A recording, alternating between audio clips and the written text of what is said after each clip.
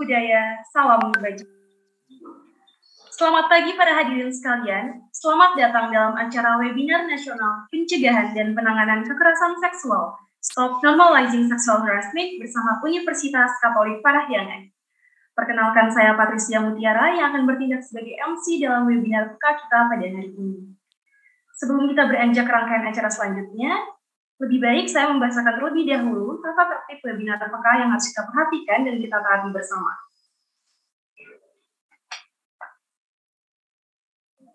Tata tertib selama mengikuti webinar.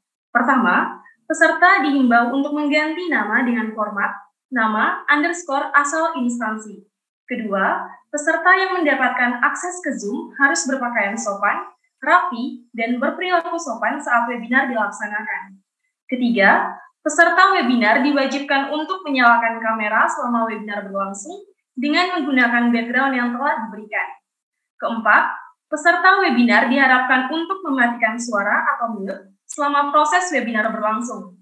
Diperkenankan menyalakan suara atau unmute apabila dipersilakan oleh MC atau moderator ketika sesi tanya jawab. Kelima, peserta yang tidak mengisi daftar hadir saat acara selesai tidak akan mendapatkan sertifikat. Di akhir acara, link daftar hadir akan dibagikan oleh panitia. Demikian tata tertib selama mengikuti webinar diharapkan dapat diperhatikan dan kita taati bersama agar acara webinar kita pada hari ini dapat berlangsung dengan kondusif. Baik, teman-teman, senang sekali ya di pagi hari ini Universitas Katolik Parahyangan kembali menghadirkan rangkaian acara webinar yang menghadirkan narasumber-narasumber berkompetensi dan pastinya ahli di bidangnya untuk kita bersama-sama nih membahas isu kekerasan seksual. Nah, saya yakin teman-teman di sini pasti sudah tahu bahwa isu kekerasan seksual ini merupakan perhatian bersama sejak lama. Namun, Atensi akan isu kekerasan seksual semakin meningkat belakangan ini seiring dengan peningkatan penggunaan media sosial selama pandemi. Dan dari situ kita sadar bahwa kekerasan seksual ternyata bisa terjadi di mana saja, dalam bentuk apa saja, dan menimpa siapa saja. Maka dari itu, Unpar mengambil inisiatif untuk kita bersama hadir dalam webinar nasional PK ini untuk membahas lebih dalam mengenai pencegahan dan penanganan isu kekerasan seksual. Baik, Uh, nampaknya sudah semakin banyak teman-teman yang bergabung bersama kita dalam ruangan Zoom ini. Maka dari itu, saya ingin menyapa terlebih dahulu Bapak Rektor Universitas Katolik Parahyangan, Bapak Mangadar Situmorang PhD. Selamat pagi dan selamat datang, Pak. Selanjutnya saya juga ingin menyapa kepala-kepala unit dan juga uh, wakil rektor dari Universitas Katolik Parahyangan. Selamat pagi dan selamat datang Bapak dan Ibu sekalian. Dan tentunya juga saya ingin menyapa Bapak Edi Syahputra Sihombing SSM yang pada hari ini akan bertindak sebagai moderator kita. Selamat pagi dan selamat datang Pak Edi. Dan juga saya tentunya ingin menyapa kedua narasumber kita yang kehadirannya pastinya sudah dinanti-nanti nih oleh teman-teman kita semuanya, yaitu ada Kak Anindya Sabrina Prasetyo dan juga Kak Maria Immaculata. Selamat pagi Kakak dan selamat datang di webinar PK. Ya. Pagi. Ya, selamat pagi kakak. Dan tentunya saya juga tidak lupa dong harus menyapa teman-teman semuanya di sini yang sudah menyempatkan waktunya nih di pagi hari ini untuk kita produktif bareng dalam webinar peka. Boleh dong aku lihat uh, reactionnya untuk menunjukkan semangat teman-teman semuanya. Boleh dong kasih aku reaction. Wah, oke, okay, kelihatannya teman-teman juga udah pada semangat ya, udah nggak sabar ngikutin uh, acara webinar kita hari ini. Baik, uh, untuk acara selanjutnya teman-teman, sebagai bangsa yang berketuhanan, alangkah baiknya nih jika kita memulai rangkaian acara webinar kita dengan menyerahkannya ke dalam bimbingan Tuhan Yang Maha Esa. Maka dari itu, izinkan saya untuk memandu doa pembukaan kita pada hari ini dalam ajaran iman Katolik. Bagi para hadirin yang sekiranya memiliki keyakinan lain, diharapkan dapat menyesuaikan. Dalam nama Bapa dan Putra dan Roh Kudus. Amin. Ya Allah, Tritunggal Maha Kudus, Bapa, Putra, dan Roh Kudus. Segala puji dan syukur berlimpah ya Tuhan kami haturkan kehadiratmu atas berkat, cinta kasih, dan perlindunganmu yang masih Engkau berikan bagi kami sampai dengan saat ini. Terima kasih Bapak untuk hari baru dan kesehatan yang masih Engkau berikan sehingga kami semua dapat kembali engkau kumpulkan dalam ruangan Zoom ini untuk bersama mengikuti webinar nasional pencegahan dan penanganan kekerasan seksual Ya Bapak, utuslah roh kudusmu agar webinar ini bisa berlangsung secara lancar dan apa pun materi yang disampaikan oleh setiap narasumber sekiranya dapat bermanfaat bagi kami semua yang hadir dalam webinar hari ini. Namamu senantiasa kami puji Bapa, kini dan sepanjang masa. Amin. Dalam nama Bapa dan Putra dan Roh Kudus. Amin. Baik, para hadirin sekalian, selanjutnya kita akan bersama-sama menyanyikan lagu Kebangsaan Indonesia Raya yang akan dipandu oleh panitia. Para hadirin diharapkan untuk mengambil sikap siap.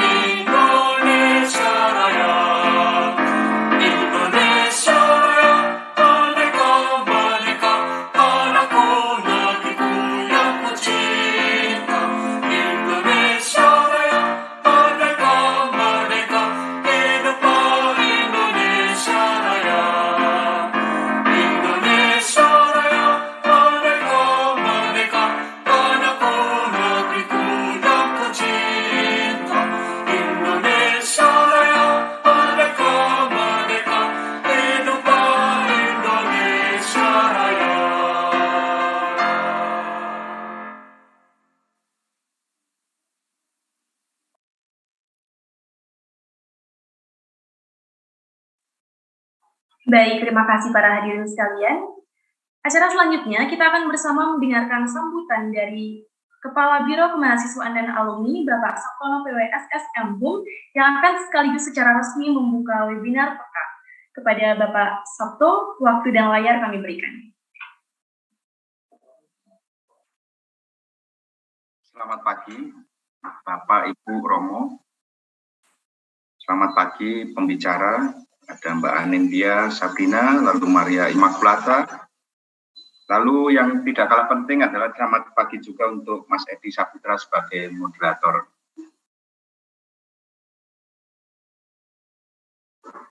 Eh, pertama-tama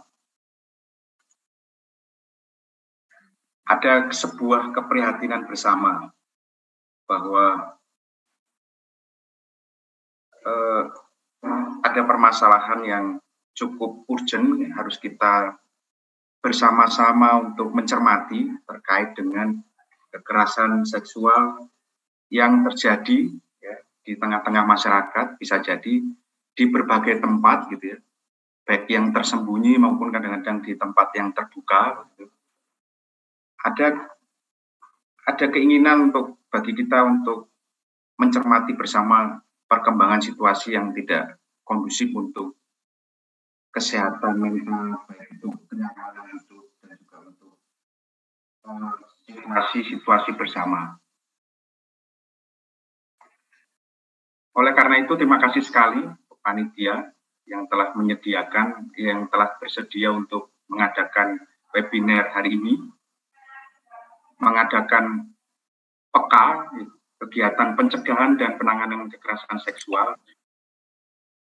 Kita akan melihat dari mungkin dari sisi segi hukum ya atau juga dari pengalaman-pengalaman yang sudah terjadi lalu kita bisa merumuskan sebenarnya hal-hal preventif apa itu ya, atau langkah-langkah seperti apa langkah-langkah preventif seperti apa yang perlu kita lakukan agar permasalahan ini semakin hari semakin mengecil. Bahkan kalau kita ingin adalah permasalahan ini hilang dari lingkungan hidup kita gitu. Hal ini muncul, hal ini mungkin terjadi apabila ada kesadaran Nah, hari ini kita bersama-sama ingin mendalami, ya, mendalami situasi yang memprihatinkan ini, lalu kita coba merumuskan masalahnya. Dan dari para narasumber, kita bisa berharap banyak bahwa kita akan menemukan langkah-langkah pencegahan, tapi juga langkah-langkah pemberantasan, kalau bisa dikatakan demikian ya, kekerasan seksual yang sudah terjadi atau kekerasan yang seksual yang ada di lingkungan hidup kita. Oleh karena itu, selamat berproses, selamat menggali ya, mumpung ada narasumber dan narasumber yang oke okay banget nih ya. Sehingga kita bisa dapat bersama-sama ya menjadi satu gerakan bersama, gerakan pemberantasan ke, eh, kekerasan seksual gitu ya. Bagaimana dari kita kita bisa menularkan kepada lingkungan kita, kita bisa membangun ekosistem kehidupan kita lebih kondusif, khususnya dalam hal bagaimana kita menghargai seksualitas yang menjadi anugerah dari Tuhan untuk kita. Demikian, selamat menikmati, selamat mencermati, selamat menggali lebih dalam, lalu berharap bahwa ini menjadi awal bagi kita untuk membuat sebuah gerakan kecil, satu langkah, eh, satu step kecil untuk mengadakan perubahan terkait dengan bagaimana situasi lingkungan kita itu kondusif dan mencegah terjadinya kekerasan seksual. Terima kasih dan selamat mengikuti webinar hari ini. Saya kembalikan kepada MC, silakan.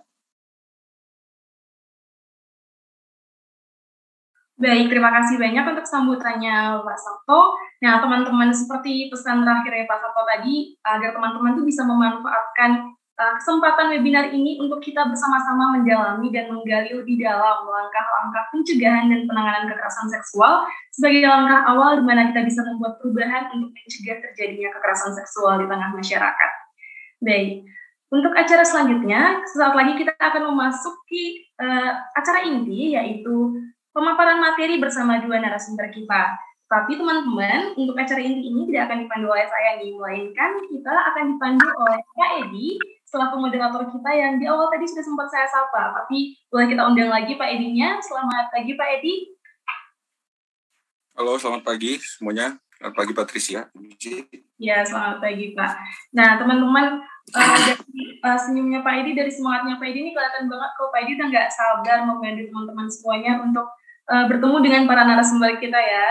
Tapi teman-teman ada pepatah nih yang bilang kalau misalnya uh, tak kenal maka tak sayang. Jadi lebih baik kita mengenal lebih dalam Pak Edi terlebih dahulu dan izinkan saya untuk membaca CV singkat dari Pak Edi terlebih dahulu ya.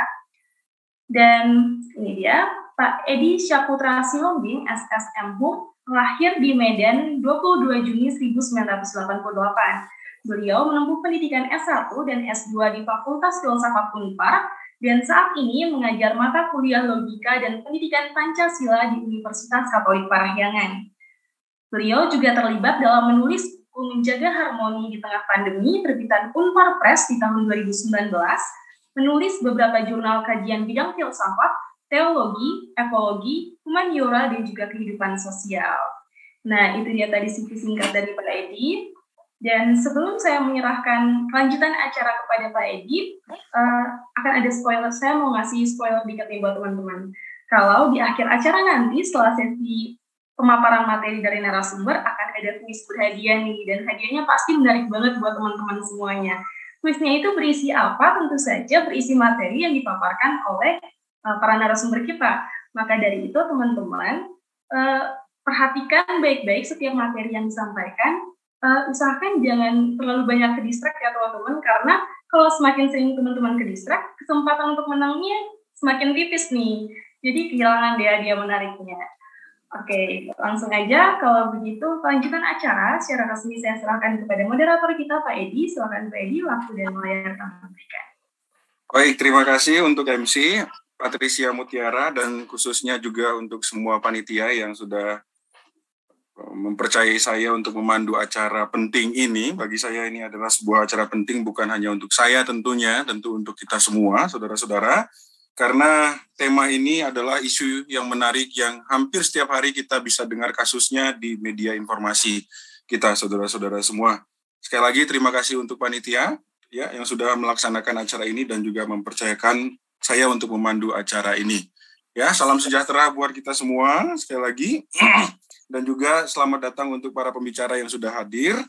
Izinkan saya untuk memandu acara webinar kita ini bersama. Saya tadi membaca sedikit latar belakang tentang acara ini, kegiatan ini dengan tema Stop Normalizing Sexual Harassment yang menjadi isu yang penting hari-hari ini kita alami, yang bukan hanya menyerang gender tertentu, tetapi bisa menyerang kita semua, siapa pun. Apalagi di tengah kecanggihan media sosial, ya, dunia digital, yang makin memudahkan orang untuk melakukan tindakan-tindakan kekerasan seksual itu. Oleh sebab itu, pentingnya top normalizing sexual harassment perlu kita diskusikan bersama, kita bicarakan bersama, di dalam webinar ini terutama untuk membangun tekad kita untuk bisa membuat permasalahan ini minimal berkurang atau kita menghapuskan permasalahan ini saudara-saudara semua. Tanggal 12 April kalau tidak salah nanti Anda bisa cek kembali tindak pidana kekerasan seksual itu sudah diresmikan menjadi undang-undang oleh DPR kalau tidak salah. Ini adalah sebuah angin segar buat kita tetapi tentu kita perlu mengawal ini semua demi ya permasalahan ini dapat diberantas dan kita dapat hidup dengan nyaman dengan baik dan juga menghidupi aspek seksualitas kita dengan baik.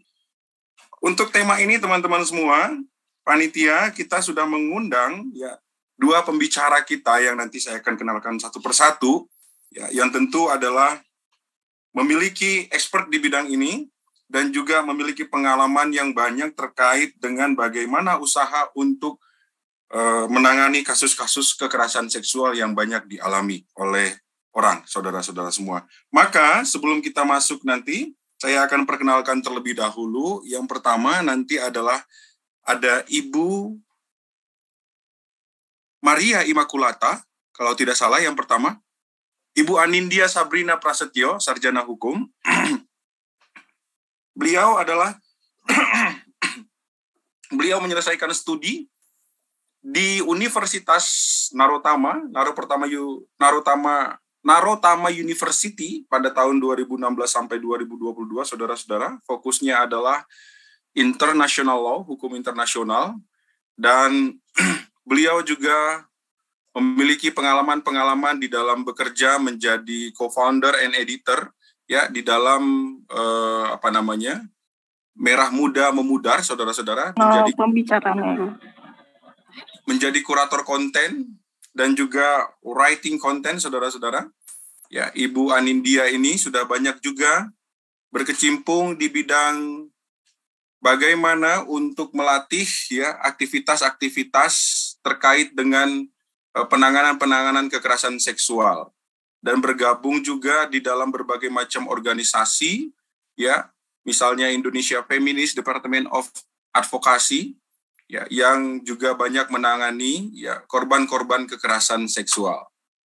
Dan beliau juga memiliki pengalaman berorganisasi bersama dengan Front Mahasiswa Nasional lalu paguyuban korban Undang-Undang ITE ya lalu juga memiliki pengalaman sebagai pembicara terutama di bidang pengkajian isu gender, lalu kemudian bagaimana supaya bisa aman berinternet, ya, lalu kemudian juga dis, diskusi tentang RUU PKS, lalu kemudian juga ada beberapa hal lain yang sudah menjadi pengalaman beliau terkait dengan tema kekerasan seksual ini.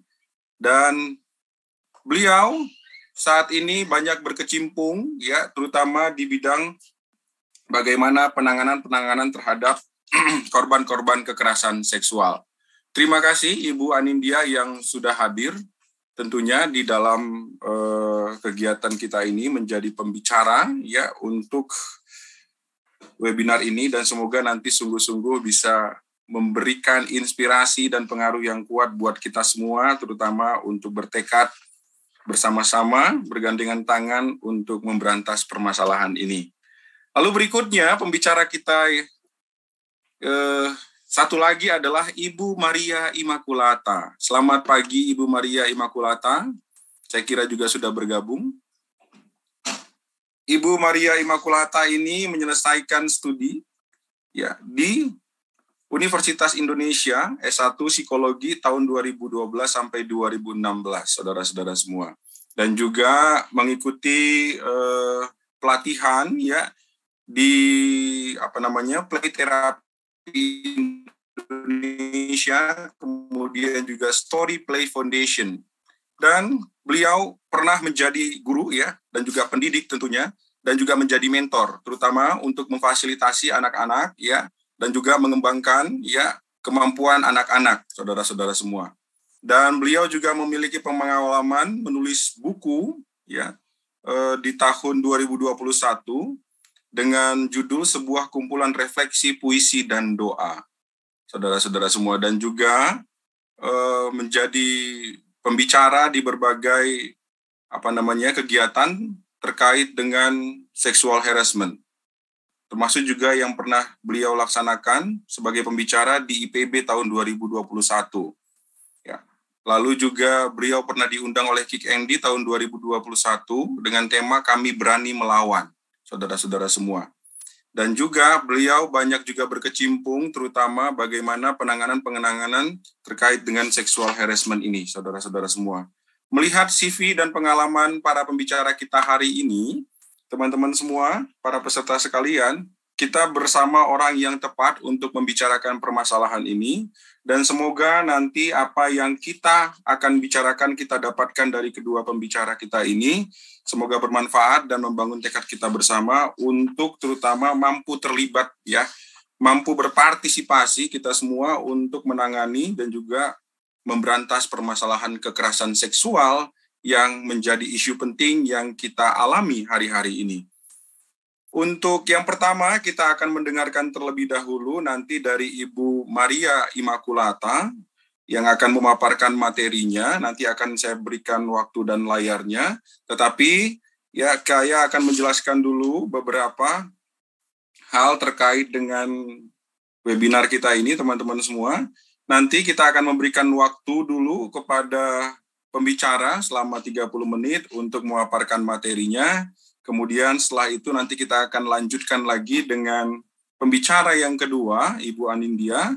Lalu selanjutnya nanti baru kita masuk ke dalam uh, diskusi dan tanya jawab. Kita bisa melakukan memberikan pertanyaan kepada pembicara kita ya dengan nanti bisa raise hand lalu juga Anda bisa menuliskan pertanyaan Anda melalui ruang chat ya dengan format nama asal instansi Anda, lalu kemudian pertanyaan Anda.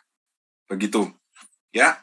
Lalu dan jangan lupa juga mari kita ikutin uh, kegiatan webinar ini sampai selesai dan kita perhatikan betul apa yang dipaparkan oleh Ibu Maria Immaculata dan juga Ibu Anindya karena di akhir acara panitia katanya memiliki kuis ya yang berhadiah untuk Anda.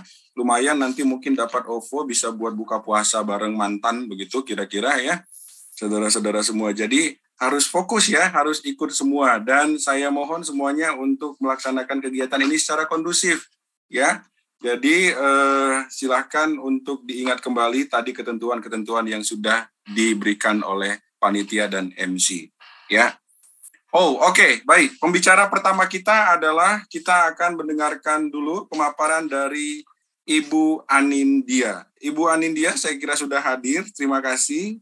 Waktu dan layar saya persilahkan untuk Ibu Anindya. Mangga. Ya, uh, minta tolong itu share screen-nya panitia ya kemarin, PowerPoint-nya. Ah, Oke. Okay. Uh, sebelumnya, uh, terima kasih atas waktunya, moderator. Perkenalkan, nama saya Anindya Sabrina, tapi teman-teman bisa panggil saya Anin.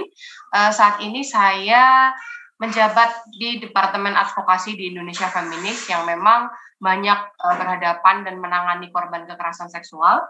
Uh, terima kasih juga untuk panitia acara PK Unpar karena telah mengadakan diskusi ini dan mengundang saya menjadi salah satu pemateri. Mungkin untuk menghemat waktu, uh, kita bisa langsung masuk aja ya.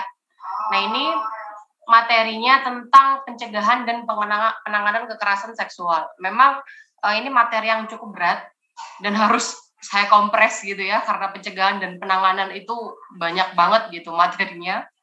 Next.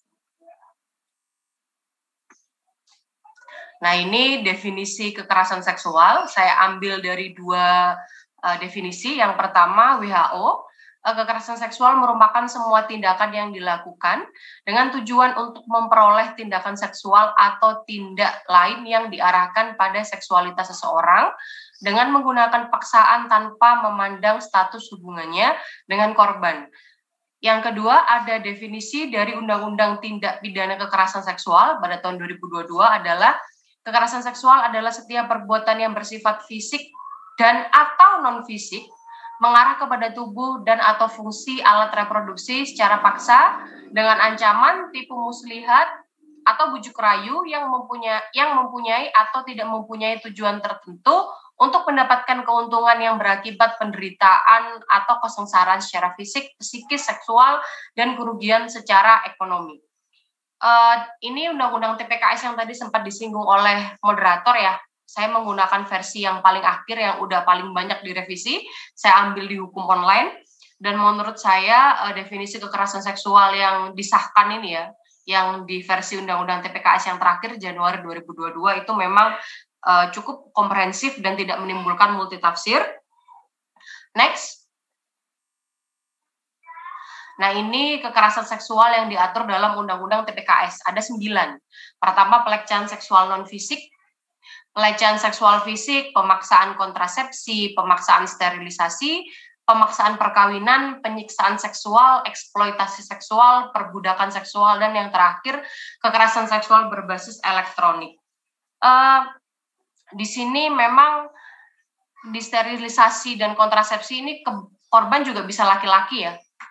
Kemudian juga ada prestasi yang luar biasa yaitu kekerasan seksual berbasis elektronik diatur dalam undang-undang TPKS yang sebelumnya tidak pernah ada dalam undang-undang yang lain gitu ya.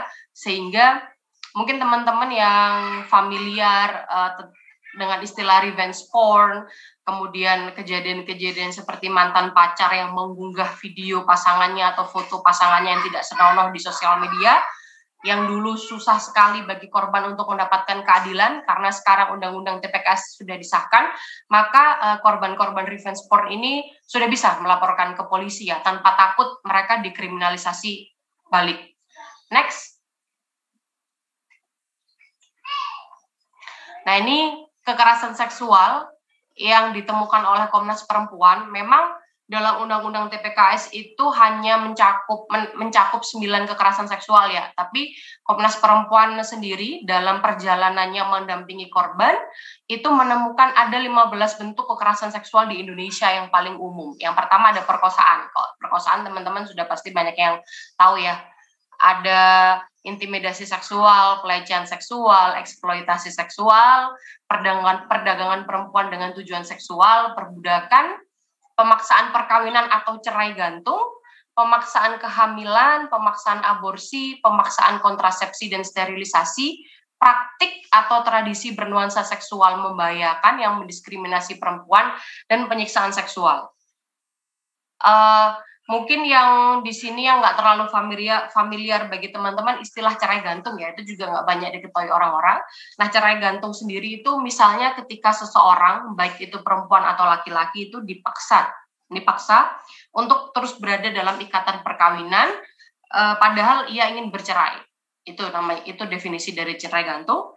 Kemudian tra tradisi seksual berbahaya mungkin saya bisa menggunakan contoh uh, female genital mutilation atau uh, sunat perempuan. Sunat perempuan ini kan dilarang ya sebetulnya sudah dilarang, uh, tapi seingat saya 10 tahun yang lalu mungkin ya praktik itu masih banyak dijumpai karena ada anggapan di masyarakat bahwa perempuan itu juga perlu disunat untuk mengontrol hasrat seksualnya. Padahal sunat perempuan itu tidak di backup by research dan justru uh, di berbagai macam penelitian itu ditemukan fakta bahwa sunat perempuan ini tidak ada manfaatnya dan kemudian justru membahayakan kesehatan perempuan itu sendiri gitu. Jadi memang tujuannya itu untuk mengontrol uh, hasrat seksual, walaupun itu ya tentu saja itu nggak masuk akal gitu. Next. Nah, ini terkait situasi kekerasan seksual sendiri di Indonesia ya. Untuk kekerasan seksual ada 2.363 kasus yang tercatat dalam Komnas Perempuan dalam ranah personal.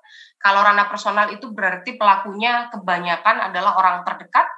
Ada 597 kasus perkosaan, 591 kasus perkosaan dalam perkawinan atau marital rape, ada 433 kasus incest. Incest ini pelakunya biasanya ayah kandung sendiri, paman, kakak, adik gitu ya. 300, 374 kasus pelecehan seksual dari total 338.496 kasus kekerasan berbasis gender. Ini meningkat 50% eh, dari tahun 2020 sebenarnya sebenarnya. Tapi uh, peningkatan itu belum tentu bisa diartikan sebagai situasi memburuk ya, tapi karena sekarang bisa dilihat masyarakat itu kan makin terbuka aksesnya terhadap informasi, sehingga layanan-layanan pengaduan berbasis online ini sudah banyak diketahui masyarakat. Jadi masyarakat sekarang sudah lebih uh, proaktif ya untuk melaporkan kasus-kasus kekerasan seksual. Dan yang perlu dicatat adalah angka 300 ribu sekian ini adalah kasus yang dilaporkan. Karena mayoritas uh, kasus KS ini jarang sekali ya uh, korban itu kemudian berpikir untuk melaporkan. Bahkan kebanyakan korban kekerasan seksual ketika menjadi korban itu tidak tahu ke mana mereka tuh harus melapor. Mau ke polisi takut karena ada anggapan ya polisi uh, kalau nggak ada duit kasusnya nggak akan naik atau kalau nggak ada pendamping takut malah di justif di, di judgment sama polisi itu. Next. Nah, ini siapa sih yang biasanya menjadi pelaku kekerasan seksual? Pelaku kekerasan seksual itu bisa macam-macam. Ada keluarga, pasangan, orang terdekat. Kalau kita lihat data sebelumnya, eh, kekerasan seksual ini kan banyak di ranah personal ya, sehingga memang mayoritas pelaku itu adalah orang yang kita kenal. Itu memang memang menyakitkan ya. Ada dosen, guru, ada pejabat publik, lembaga pemerintahan non pemerintah, ada aparat penegak hukum, aparat sipil, korporasi, negara bahkan juga bisa menjadi pelaku. Uh, contohnya gimana kalau lembaga pemerintahan gitu ya? Saya kasih contoh tes keperawanan. Walaupun itu sekarang bagus sudah dicabut ya, tapi sebelumnya misalnya kita masuk ke polisian, masuk ke militer gitu ya, itu ada diperlukan namanya tes keperawanan. Nah, itu bentuk dari pelecehan seksual juga, karena kan apa hubungannya uh, keperawanan seseorang dengan kemampuan dia untuk menjadi seorang polisi atau seorang tentara misalnya. Dan itu kan juga nggak ilmiah ya konsep dari keperawanan itu sendiri. Uh, ada juga negara. Kenapa negara? Uh, biasanya ini dihadapi oleh perempuan pembela ham atau woman, woman human rights defender. Next.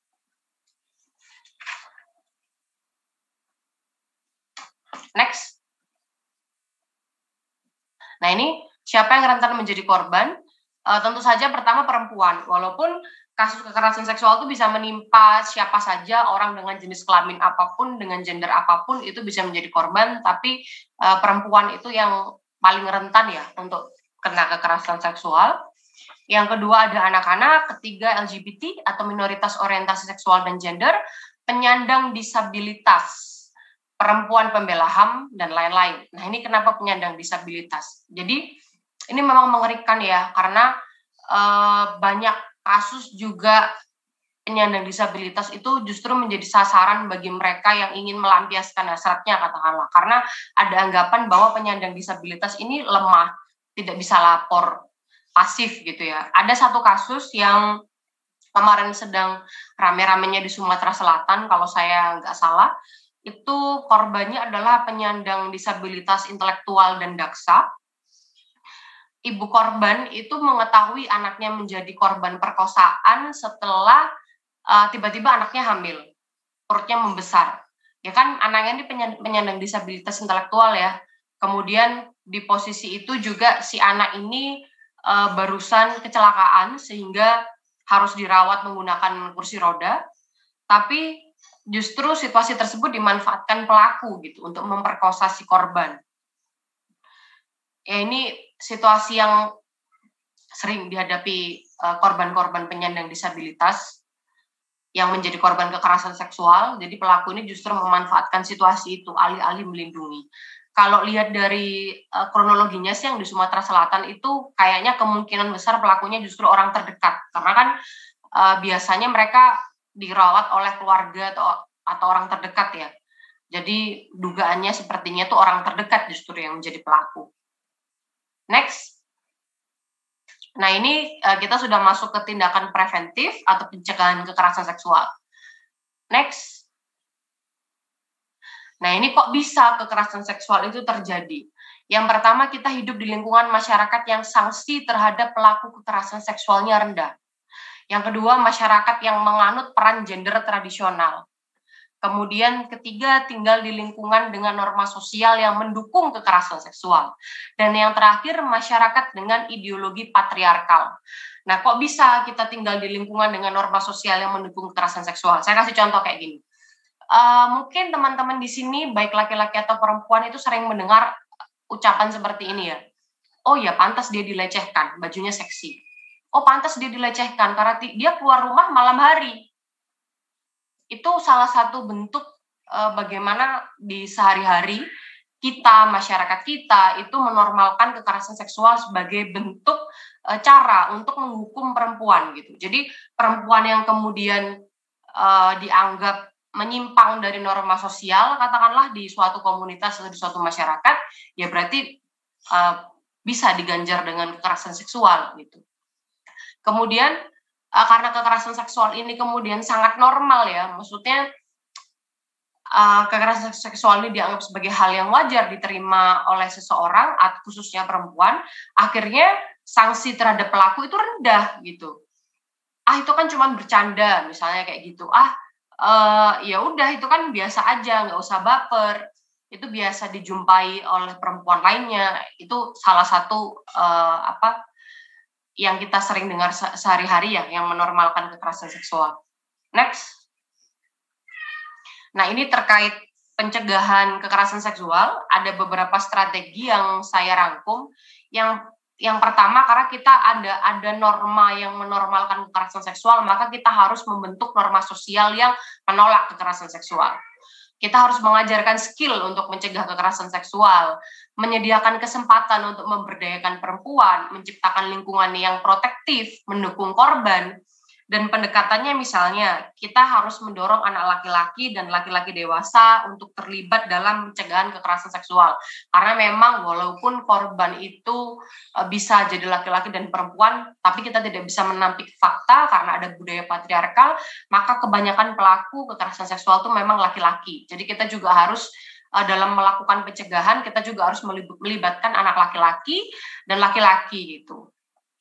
Kemudian uh, ada program-program untuk pencegahan pencegahan KS, eh, mengajarkan komunikasi yang baik terhadap sesama, untuk lebih care, respectful, eh, untuk mengajarkan non-violent behavior dan mempromosikan seksualitas yang sehat, katakanlah. Ini terkait kemudian juga ada mendukung eh, menciptakan lingkungan yang protektif dan menyediakan kesempatan yang sama untuk memberdayakan perempuan. Nah, kenapa kayak gitu? Karena equal akses, equal ekonomi itu juga berkaitan erat dengan kekerasan seksual. Jadi kekerasan seksual itu juga tidak bisa dipisahkan dari kemiskinan atau isu ekonomi ya. Next. Nah, ini pencegahan kekerasan seksual yang diatur dalam Undang-Undang Tindak Pidana Kekerasan Seksual. Memang uh, dalam Undang-Undang TPKS itu tidak hanya berbicara tentang penanganan atau pemidanaan, tetapi juga berbicara tentang uh, peran pemerintah, masyarakat, keluarga dalam mencegah kekerasan seksual. Nah, ini uh, pemerintah dan pemerintah daerah wajib menyelenggarakan pencegahan tindak pidana kekerasan seksual yang meliputi pendidikan, pelayanan publik, pemerintahan dan tata kelola, kelembagaan, ekonomi, ketenaga kerjaan, sosial budaya, teknologi, keagamaan, dan keluarga. Jadi pemerintah ini wajib menyediakan materi ya teman-teman, pedoman uh, untuk pendidikan soal kekerasan seksual bagi aparat hukum, bagi petugas uh, UPTD, PPA misalnya. Karena kan kita sering kalau kita yang di lapangan ini sering berhadapan dengan aparat yang memang mayoritas aparat itu tidak punya um, uh, tidak punya apa ya pemahaman tentang gender. Sehingga ketika berhadapan dengan korban itu sering kali insensitif. Bahkan saya juga jarang menemui korban itu laporannya ditolak karena dianggap kurang bukti. Next. Nah ini peran masyarakat ya uh, dalam undang-undang TPKS ada membudayakan literasi tentang kekerasan seksual kepada semua lapisan usia masyarakat, ada sosialisasi, ada menciptakan kondisi lingkungan yang dapat mencegah terjadinya kekerasan seksual. Karena kan uh, biasanya pelaku itu kan orang terdekat ya, justru dari lingkup kecil kita sendiri. Jadi peran masyarakat itu sangat penting gitu untuk menyebarkan informasi tentang kekerasan seksual. Kita juga bisa memberikan informasi itu kepada aparat penegak hukum kita juga bisa apa ya istilahnya kalau anak sekarang gercep ya. Jadi uh, kekerasan seksual itu bukan urusan pribadi seseorang gitu. Ketika kita melihat seseorang itu menjadi korban kekerasan seksual di mata kepala kita, kita wajib hukumnya untuk kemudian melaporkan ke polisi atau ya melaporkan ke aparat penegak hukum memberikan informasi bahwa ada kekerasan seksual gitu agar kemudian uh, pelakunya itu bisa uh, ditangkap gitu ya atau dijerat. Kita juga wajib memberikan pertolongan bagi para korban. Next. Nah, ini peran keluarga dalam Undang-Undang TPKS ada menguatkan edukasi dari keluarga baik dari dari berbagai macam aspek ya, ada moral, etika, agama, budaya, kemudian membangun komunikasi yang berkualitas di antara anggota keluarga, membangun membangun ikatan emosional antar keluarga, menguatkan para ayah, ibu, seluruh anggota keluarga, menjaga dan mencegah anggota keluarga dari pengaruh pornografi dan akses terhadap informasi yang mengandung unsur pornografi. Menjaga anggota keluarga dari pengaruh lingkungan dan pergaulan bebas. Nah, ini peran-peran keluarga dalam mencegah undang-undang TPKS. Peran uh, keluarga ini sangat penting karena keluarga adalah tempat pertama kita tuh dididik dan banyak pelaku adalah orang terdekat. Balik lagi ya. Next. Nah, kita sudah masuk ke uh, slide uh, ke sesi terakhir yaitu penanganan kekerasan seksual. Next. Nah, ini payung hukum bagi korban. Jadi, uh, teman-teman yang perlu teman-teman ketahui yang apa yang hukum bagi korban kekerasan seksual bukan hanya undang-undang tindak pidana kekerasan seksual, tapi ada kitab undang-undang hukum pidana KUHP, ada undang-undang tentang penghapusan kekerasan dalam rumah tangga, ada undang-undang tentang perlindungan anak, ada undang-undang tentang sistem peradilan pidana, dan yang terakhir ada undang-undang uh, pencegahan tindak pidana perdagangan orang atau undang-undang TPPO. Jadi uh, di beberapa undang-undang selain undang-undang TPKS tadi memang tidak secara spesifik mengatur kekerasan seksual, tapi ada beberapa pasal yang bisa digunakan bagi korban kekerasan seksual dalam lingkupnya masing-masing. Next. Nah, ini ada intervensi masa krisis ya. Eh, intervensi masa krisis ini misalnya ketika kita menghadapi seseorang orang terdekat kita, orang kita kenal atau orang yang katakanlah uh, mengatakan pada kita saya menjadi korban perkosaan, saya menjadi korban kekerasan seksual. Apa yang harus pertama kali kita lakukan katakanlah? Yang pertama kita bisa melakukan yang namanya penguatan psikologis atau emosional. Karena penguatan psikologis ini penting untuk menentukan berikutnya ya ketika korban ini secara psikologis itu kuat, korban itu juga bisa memberikan keputusan bagi dirinya sendiri. Misalnya keputusan untuk melapor polisi atau tidak, atau keputusan mau mau mau lapor ke mana, katakanlah seperti itu. Kemudian ada bantuan langsung, bantuan kesehatan dalam kondisi darurat, misalnya visum. Kan banyak korban kekerasan seksual itu, uh, setahu saya ya, khususnya korban perkosaan, ketika pertama kali menjadi korban, saya tuh masih ingat ada satu kejadian itu korbannya telepon mendapatkan nomor saya dari orang lain, dia bingung harus ngapain.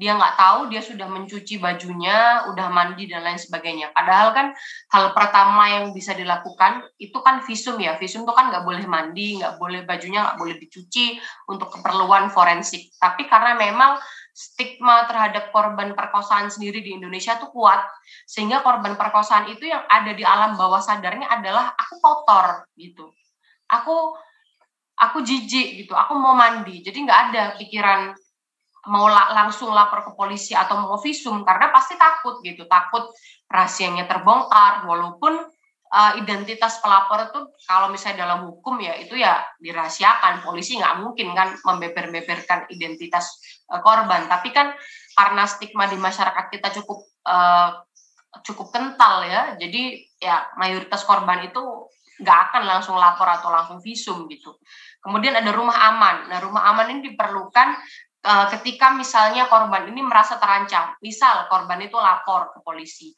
kemudian mendapatkan teror intimidasi dari pelaku dan merasa tidak aman uh, tinggal di rumahnya sendiri. Jadi kita harus menyediakan rumah aman uh, yang tidak diketahui siapa pun, yang safe.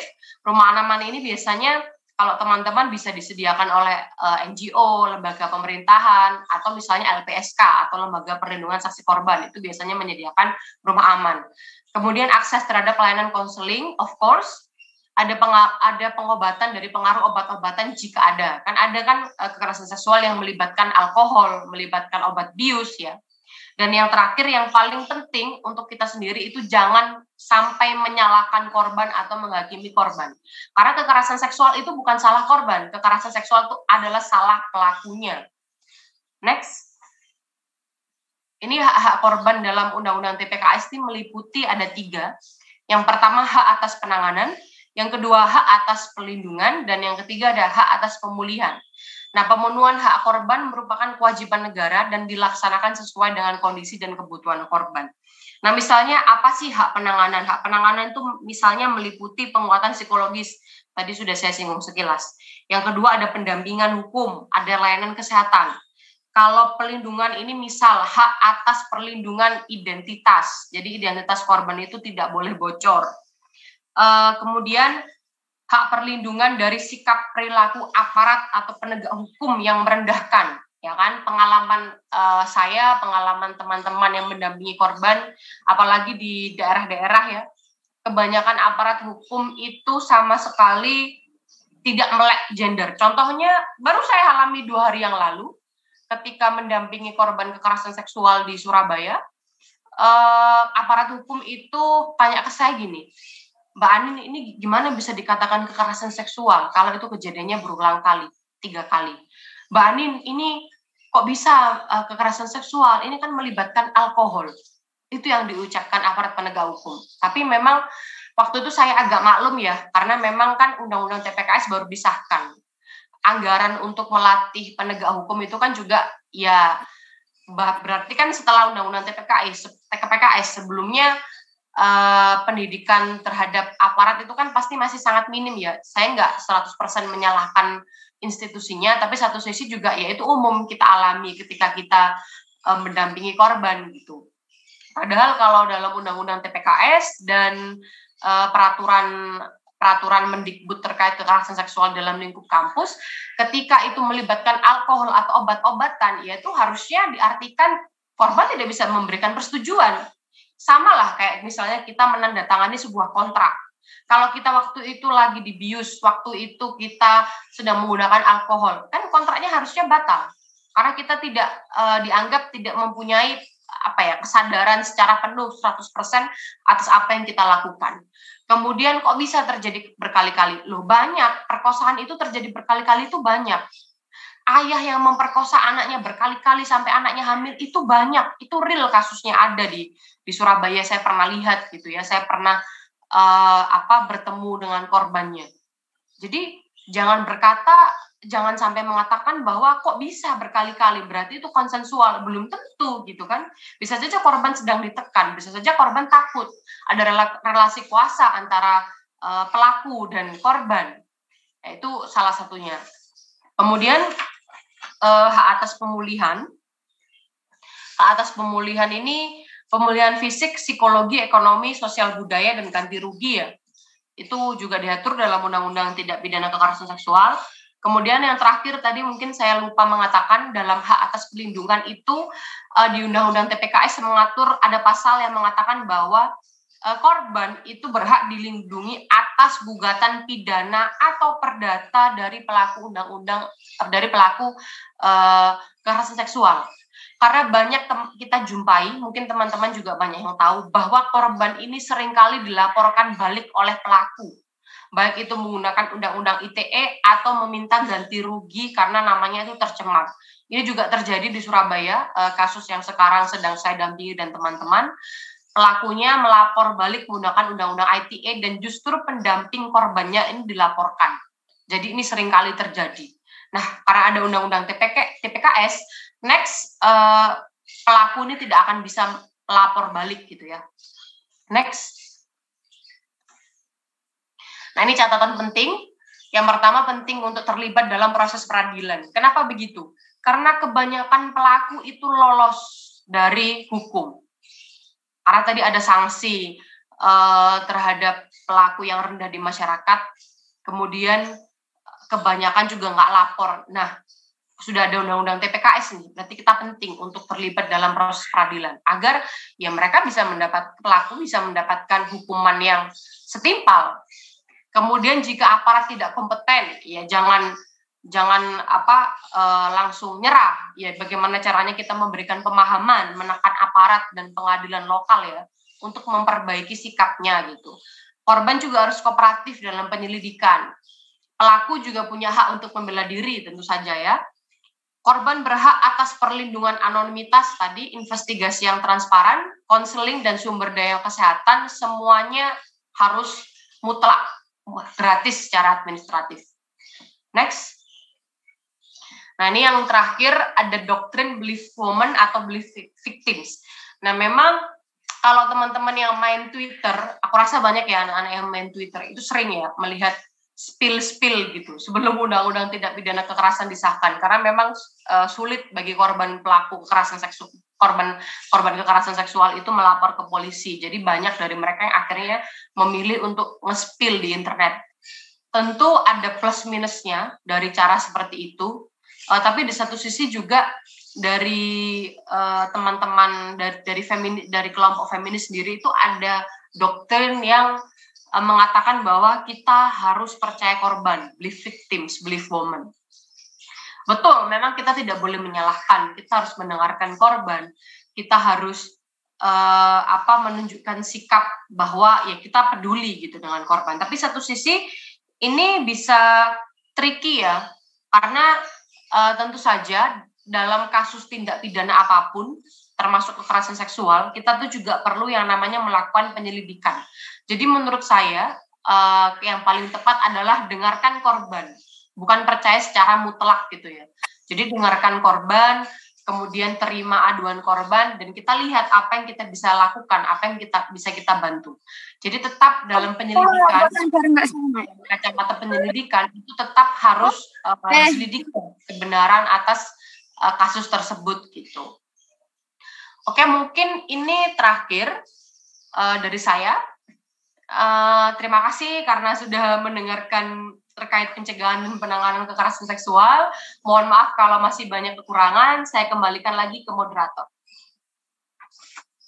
Baik, terima kasih uh, Ibu Anindya. Mari kita berikan reaction dulu atas pemaparan yang sudah diberikan oleh Ibu Anindya. Kita berikan reaction virtual kita. Terima kasih sekali lagi Ibu Anindya saya memberikan beberapa catatan penting tadi yang kita sudah dengarkan bersama saudara-saudara dan menarik sekali begitu ya membuat kita eh, apa ya tersadarkan ya kemudian dari pemaparan Ibu Anindya ini.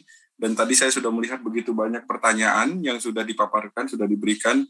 Toh, mohon bersabar dahulu karena kita masih punya satu pembicara lagi.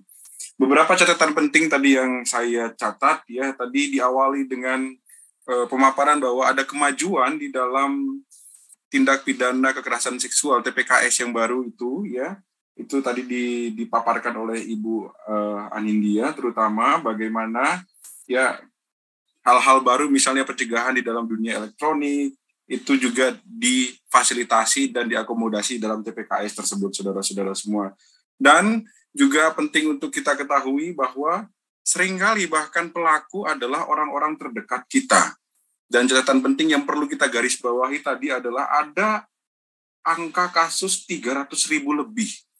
Ini adalah yang dilaporkan. Tadi Ibu Ibu India itu mencatatkan, menggaris bawahi bahwa ini yang dilaporkan. Bagaimana yang tidak dilaporkan? Karena umumnya eh, di Indonesia ya paradigma tentang kekerasan seksual itu masih menganggap itu sebagai aib kalau tidak salah tadi yang dilaporkan oleh Ibu Anindya tersebut. Artinya saudara-saudara masih ada banyak kasus yang belum terungkap. Siapa pelaku itu justru banyak dari orang terdekat bahkan negara pun bisa ya menjadi pelaku. Tadi sudah dipaparkan contohnya seperti tes keperawanan dan lain sebagainya.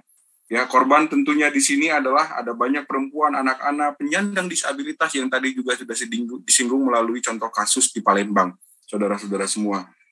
Ya, memang eh, kekerasan seksual ini sering kali terjadi, marak terjadi karena memang sanksi lemah, ya. Lalu kemudian tadi budaya patriarki yang tinggi atau kita tinggal di lingkungan ya yang cenderung justru menormalisasi kekerasan seksual tersebut. Misalnya tadi contoh yang diberikan Ibu Anindya itu adalah ya pantas saja dia mengalami itu karena dia memakai rok pendek, dia keluar malam hari, itu adalah bentuk-bentuk normalizing tadi yang dijelaskan oleh Ibu uh, Anindya saudara-saudara semua. Ya, oleh sebab itu penting ya untuk membangun strategi ya skill untuk penanganan ini untuk melawan KS ya atau korban seksual, mendukung korban ya, dan juga menciptakan lingkungan yang protektif terhadap kekerasan seksual tersebut, saudara-saudara semua dan juga perlu ya sosialisasi sosialisasi undang-undang yang sudah mengatur ini semua atau dan juga kita perlu mendampingi korban dan kita perlu sadar bersama untuk tidak takut melaporkan karena ini e, adalah tindak pidana saudara-saudara semua. Itu tadi yang sudah dipaparkan oleh Ibu Anindya ya e, beberapa hal lain. Justru tadi sudah banyak sekali yang kita dapatkan dari Ibu Anindya ini. Terima kasih Ibu Anindya.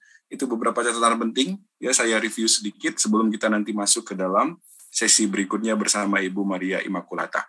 Saudara-saudara, saya sudah menyimpan semua eh, pertanyaan-pertanyaan yang Anda berikan, tapi mohon bersabar ya, eh, karena nanti eh, pertanyaan sesi pertanyaan ada waktu khususnya setelah sesi kedua ini. Berikutnya saya sudah membacakan tadi ya CV beliau Ibu Maria Imakulata apakah sudah hadir bersama kita? Selamat pagi Ibu Maria Imakulata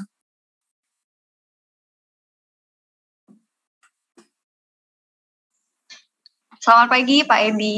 Ya, selamat pagi Ibu Maria Imakulata. Ya, sudah hadir. Terima kasih ya sudah bersedia menjadi pembicara ya di sesi berikutnya ini saya berikan waktu dan layar kepada Ibu Maria Immaculata untuk memaparkan materinya waktunya 30 menit. Terima kasih Ibu Maria Immaculata, mangga silahkan.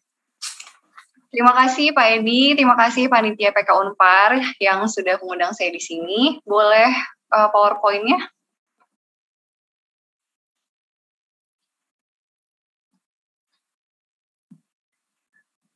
Oke, halo selamat pagi semuanya. Perkenalkan nama saya Maria Mopulata. Hari ini saya mau berbagi cerita berdasarkan pengalaman sendiri. Uh, dan yang mau saya bawa hari ini tuh terkait dengan kehebatan dan kekuatan komunitas sebagai sistem pendukung korban kekerasan seksual. Um, boleh next?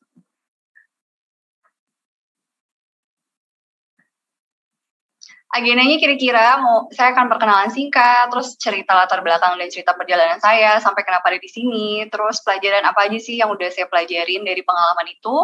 Terus saya juga ingin berbagi perspektif tentang kehebatan komunitas sebagai sistem pendukung, terus terakhirnya ada penutup. Next-nya boleh? Pertama perkenalan. Next. Uh, perkenalan, nama saya Maria Imukulata. Uh, saya memanggil diri saya sendiri seorang pejuang perubahan atau agent of change yang memiliki visi menjadikan dunia sebagai tempat yang aman dan nyaman bagi individu untuk menjadi versi diri terbaiknya.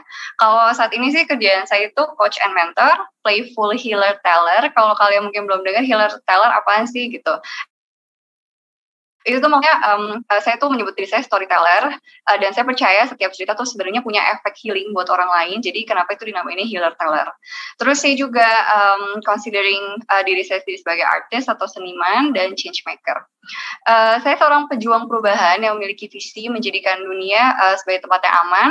Terus visi ini didampingi dengan misi utama untuk menginspirasi manusia kembali merangkul dirinya sendiri dan mengaktualisasikan potensinya tanpa batas.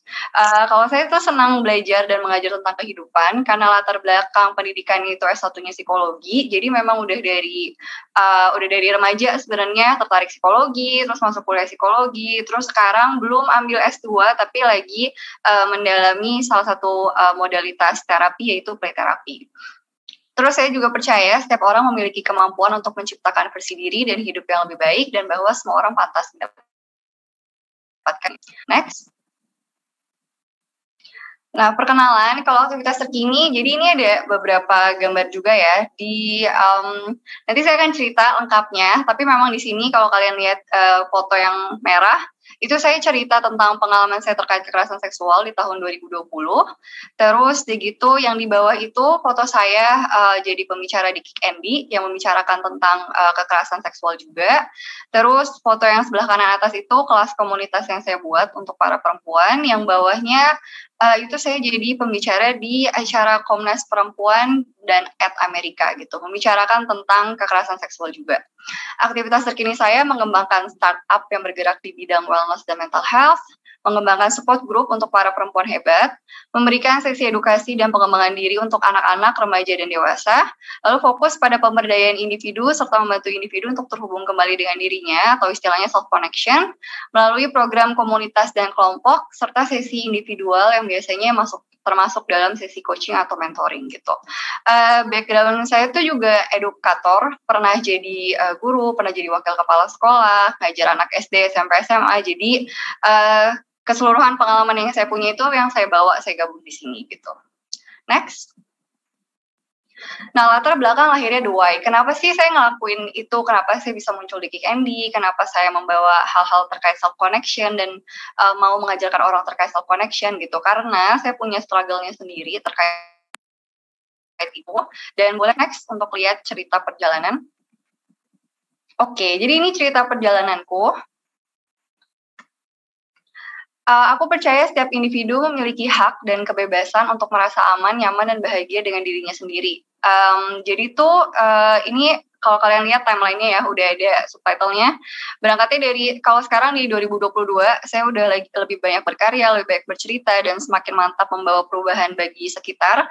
Tapi banyak juga yang saya alami di tahun-tahun sebelumnya. Jadi kalau saya itu uh, saya sebenarnya survivor juga, survivor kekerasan seksual lebih tepat sifatnya pemerkosaan yang melibatkan lebih dari satu orang atau biasa kalau bahasa Inggris gang rape itu terjadinya di uh, tahun 2013 13 Maret 2013 kejadiannya itu di sekitar rumah masih di area rumah di seberang rumah sih tepatnya.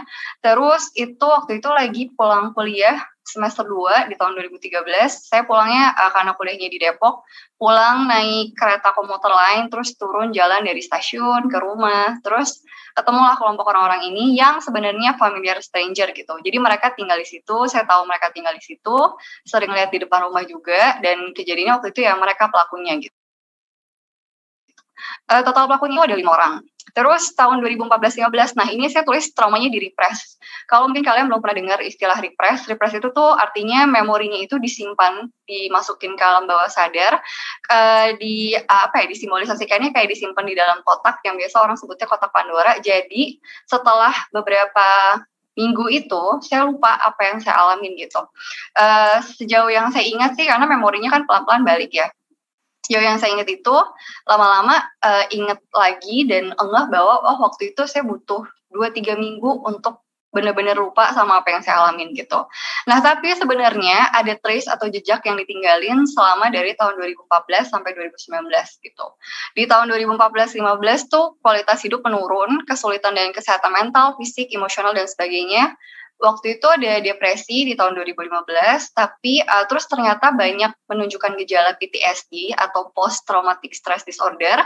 Tapi karena nggak tahu kan, nggak ingat waktu itu bahwa mengalami sesuatu yang berat gitu. Jadi pikirnya oh mungkin ini stres, depresi atau apa gitu. Untungnya karena saya ada di lingkungan psikologi, uh, cukup mudah untuk dapat akses bantuan dan karena waktu itu saya ngerasa nggak oke okay banget, uh, itu mengganggu kuliah dan kehidupan sehari-hari. Akhirnya saya minta konseling sama dosen, tapi memang nggak sampai ke akarnya banget, tapi waktu itu udah cukup terbantu dengan gejala depresinya gitu. Terus di 2016 sampai 17 tuh memulai fase eksplorasi terkait pemulihan, pertumbuhan, pertumbuhan dan pengembangan diri gitu. Saya um, suka banget sama emotional health, ngelihat program-program personal growth dari luar negeri, dari dalam negeri. Dulu di dalam negeri belum sebanyak sekarang sih. Jadi dulu saya baik kelas itu kelas-kelas dari yang biasanya tuh dari luar negeri. Terus dari situ tuh lumayan ngebantu untuk belajar tentang self love, self care dan sebagainya gitu. Di tahun 2015 saya merasa hidupnya mulai balik lagi ke titik rendah. Waktu itu lagi kerja di sekolah sebagai wakil kepala sekolah. Uh, karena load kerjanya juga uh, tinggi, jadi waktu itu ke-trigger lagi, depresi lagi selama beberapa bulan. Konseling uh, lagi sama psikolog, tapi cuman kayak satu dua kali, terus nggak ngerasa cocok dengan psikolognya dan metodenya. Akhirnya saya coba cari yang lain gitu. Di 2019 itu saya memiliki sistem pendukung yang lebih mumpuni. Uh, mumpuni itu karena jadi di 2019 saya ketemu dengan um, tempat meditasi yang sampai sekarang pun masih jadi sistem pendukung saya. Terus selain itu saya juga uh, ikut sertifikasi untuk dipraktisi di play terapi yang akhirnya uh, apa namanya orang-orang yang ada di sini pun juga jadi sistem pendukung saya gitu. Karena yang di play terapi itu semuanya perempuan, terus 16-17 orang, jadi berarti saya benar-benar kayak ikatan sisterhood gitu gitu. Nah di tahun 2019 itu tepatnya di 30 November 2019, waktu lagi meditasi malam, memori kepingan pertama dari trauma itu muncul lagi gitu. Tiba-tiba sekilas melihat saya lagi malam hari di dalam gang, terus uh, apa namanya ada beberapa muka yang saya lihat gitu terus rasa sakit di badannya keluar mungkin kalau kalian bingung kayak emang bisa kayak gitu iya memang bisa kayak gitu dan sebenarnya manusia tuh punya sistem yang kompleks dalam artian yang bagus gitu. Ketika seseorang mengalami sesuatu dan dia belum kuat untuk handle itu di saat itu, banyak mekanisme pertahanan yang bisa dilakukan salah satunya dengan repress memory. Tapi sebenarnya ketika memorinya itu kita nggak ingat secara sadar, berarti memorinya itu hilang gitu. Diingat di badan, terus udah gitu ada jejak-jejak yang ditinggalin juga gitu. Nah, di 2019 karena udah punya uh, cukup support system, saya ngeliatnya kayak, oh ternyata selama ini yang saya simpan tujuh tahun tuh bisa keluar karena saya punya orang-orang ini yang setiap kali saya cerita apa aja tuh mereka selalu dengerin, nggak pernah ngejudge gitu. Terus di tahun 2020, pas banget karena pandemi, saya juga pas resign dari kerjaan. Resignnya sebenarnya udah dari sebelum traumanya keluar sih. Jadi waktu itu ngeliat memang timingnya pas banget. Uh, 2020 uh, juga pandemi, jadi akhirnya saya benar-benar bisa fokus pada pemulihan dan merawat diri gitu kayak di rumah tuh sama sekali nggak ada kerjaan yang diambil. Terus bener-bener balik ke self care ke masak terus bebikinan uh, karya seni gitu. Jadi 2020 tuh bener-bener waktu untuk pulih dan merawat diri lagi. Terus juga berhasil untuk kembali terhubung dengan diri gitu. Kembali terhubung maksudnya setiap kali nangis sekali ada memori yang keluar, either itu saya journaling atau saya catat, atau waktu itu jadi dibantu sama ada um, psikolog, terus ada uh, beberapa kali sesi konseling sama terapi, terus juga ada praktisi dari tempat meditasi yang bantuin, sama saya sendiri juga belajar-belajar metode pemulihan yang lain untuk membantu diri sendiri gitu. 2021 udah mulai kembali berkarya dan membagikan pengalaman hidup di ruang publik. Sebenarnya awal ceritanya di akhir tahun 2020 itu di platform yang teman saya bikin yang sekarang dikembangkan jadi startup itu. Uh, terus dari situ di 2021 mulai dapat banyak undangan untuk berbicara di ruang publik, salah satunya di Kick Andy gitu. Jadi kira-kira itu cerita perjalanannya. Saya ngalamin hal yang berat memang, tapi banyak hal juga yang saya pelajarin yang akhirnya saya ada di sini, saya ingin ngebawa ini balik ke orang-orang gitu. Boleh next? Nah, apa sih yang bisa dipelajari dari cerita saya yang tadi gitu? Yang pertama, kekerasan seksual bisa terjadi di mana saja dan dialami oleh siapa saja. Stigma, label, stereotip, kepercayaan, dan pandangan negatif seputar seks dan kekerasan seksual jadi salah satu faktor yang memberatkan korban kekerasan seksual beserta keluarga. Saya tuh refleksi, kenapa memorinya itu harus saya simpan waktu itu. Kenapa Ima yang uh, di tujuh tahun lalu lebih memilih untuk nyimpan itu dibanding untuk cerita itu ke orang gitu. Uh, waktu itu sih salah satu hal yang saya temukan karena saya nggak merasa aman untuk ngomong bahwa uh, eh gue ngalamin ini loh gitu. Dan um, ini salah satu stigma yang waktu itu nempel kuat di saya ya, itu terkait dengan keperawanan gitu, bahwa seorang perempuan itu dianggap suci kalau dia masih perawan. Waktu itu kenyataannya karena kejadian itu, um, ya memang ini bluntly dan honestly uh, harsh gitu ya, tapi memang kenyataannya itu merebut keperawanan dan itu salah satu hal yang saya takut banget sebenarnya untuk ngomongin gitu. Saya mikir kalau saya ngomong ini apa berarti saya udah nggak suci apa saya berarti akan dianggap perempuan dengan aib gitu dan karena saya waktu itu ngerasa nggak kuat dan too much jadi makanya uh, saya memilih untuk ngekip itu sampai akhirnya itu benar-benar total lupa gitu. Saya sendiri surprise sih bisa total lupa kayak gitu. Terus dari gitu um, uh, saya juga belajar sebenarnya karena saya punya ketemu komunitas orang-orang yang bisa mendengarkan tanpa menghakimi gitu. Ternyata itu powerful banget gitu ketika kita didengarkan apa adanya nggak ada yang ngejudge, nggak ada yang bilang kayak nggak boleh itu aib gitu. Ternyata banyak hal yang bisa keluar dari diri kita dan bisa diproses gitu. Yang kedua, manusia itu memiliki sistem yang begitu kompleks namun udah uh, karena saya punya background psikologi jadi lumayan paham waktu itu lah mekanismenya kenapa traumanya kayak gini dampak dari traumanya gitu. Saat mengalami sesuatu seperti trauma manusia memiliki mekanisme melindungi diri salah satunya dengan menekan memori trauma ke alam bawah sadar. Setiap manusia berhak untuk terbebas dari luka trauma dan masa lalu caranya gimana? Dengan menjalani proses pemulihan belajar untuk merawat diri dan mengembangkan diri uh, memiliki dukungan dari support system terus uh, mendapatkan akses untuk ruang aman tanpa penghakiman dan sebagainya yang ketiga, setiap individu memiliki benih resiliensi dalam diri. Resiliensi itu kemampuan untuk kembali bangkit setelah mengalami kesulitan atau jatuh ke titik rendah dalam hidup. Benih ini perlu dirawat, dipelihara, dan diberi ruang agar bisa bertumbuh dengan baik dan bisa menjadi sistem pendukung internal.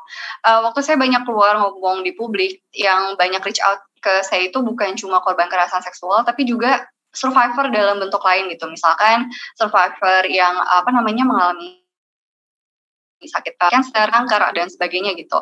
Dari situ tuh saya belajar dan karena saya mendalami play therapy juga sama salah satu metode namanya story play.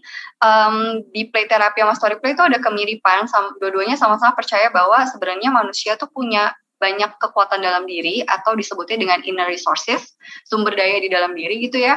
Yang sebenarnya kalau misalkan dilatih, di nourish, dirawat, itu tuh eh, sumber-sumber dalam diri ini tuh bisa menguatkan kita di dalam diri sehingga apa yang terjadi di luar itu mungkin tetap akan berdampak ke kita, tapi dampaknya itu nggak seberat kalau kita nggak mengembangkan diri kita gitu. Dan ini juga salah satu hal yang saya bawa di kelas dan di program saya. Yang keempat, setiap individu berhadapan dengan sesuatu yang tidak mudah yang bahkan mereka sendiri tidak paham. Jadilah manusia yang penuh kesabaran, penuh kasih dan kesabaran untuk uh, untuk diri sendiri dan sesama. Um, saya tuh pahamnya dulu tuh um, saya keras banget sama diri sendiri gitu. Kayak oke, okay, gue harus ngebem, gue harus gini gitu.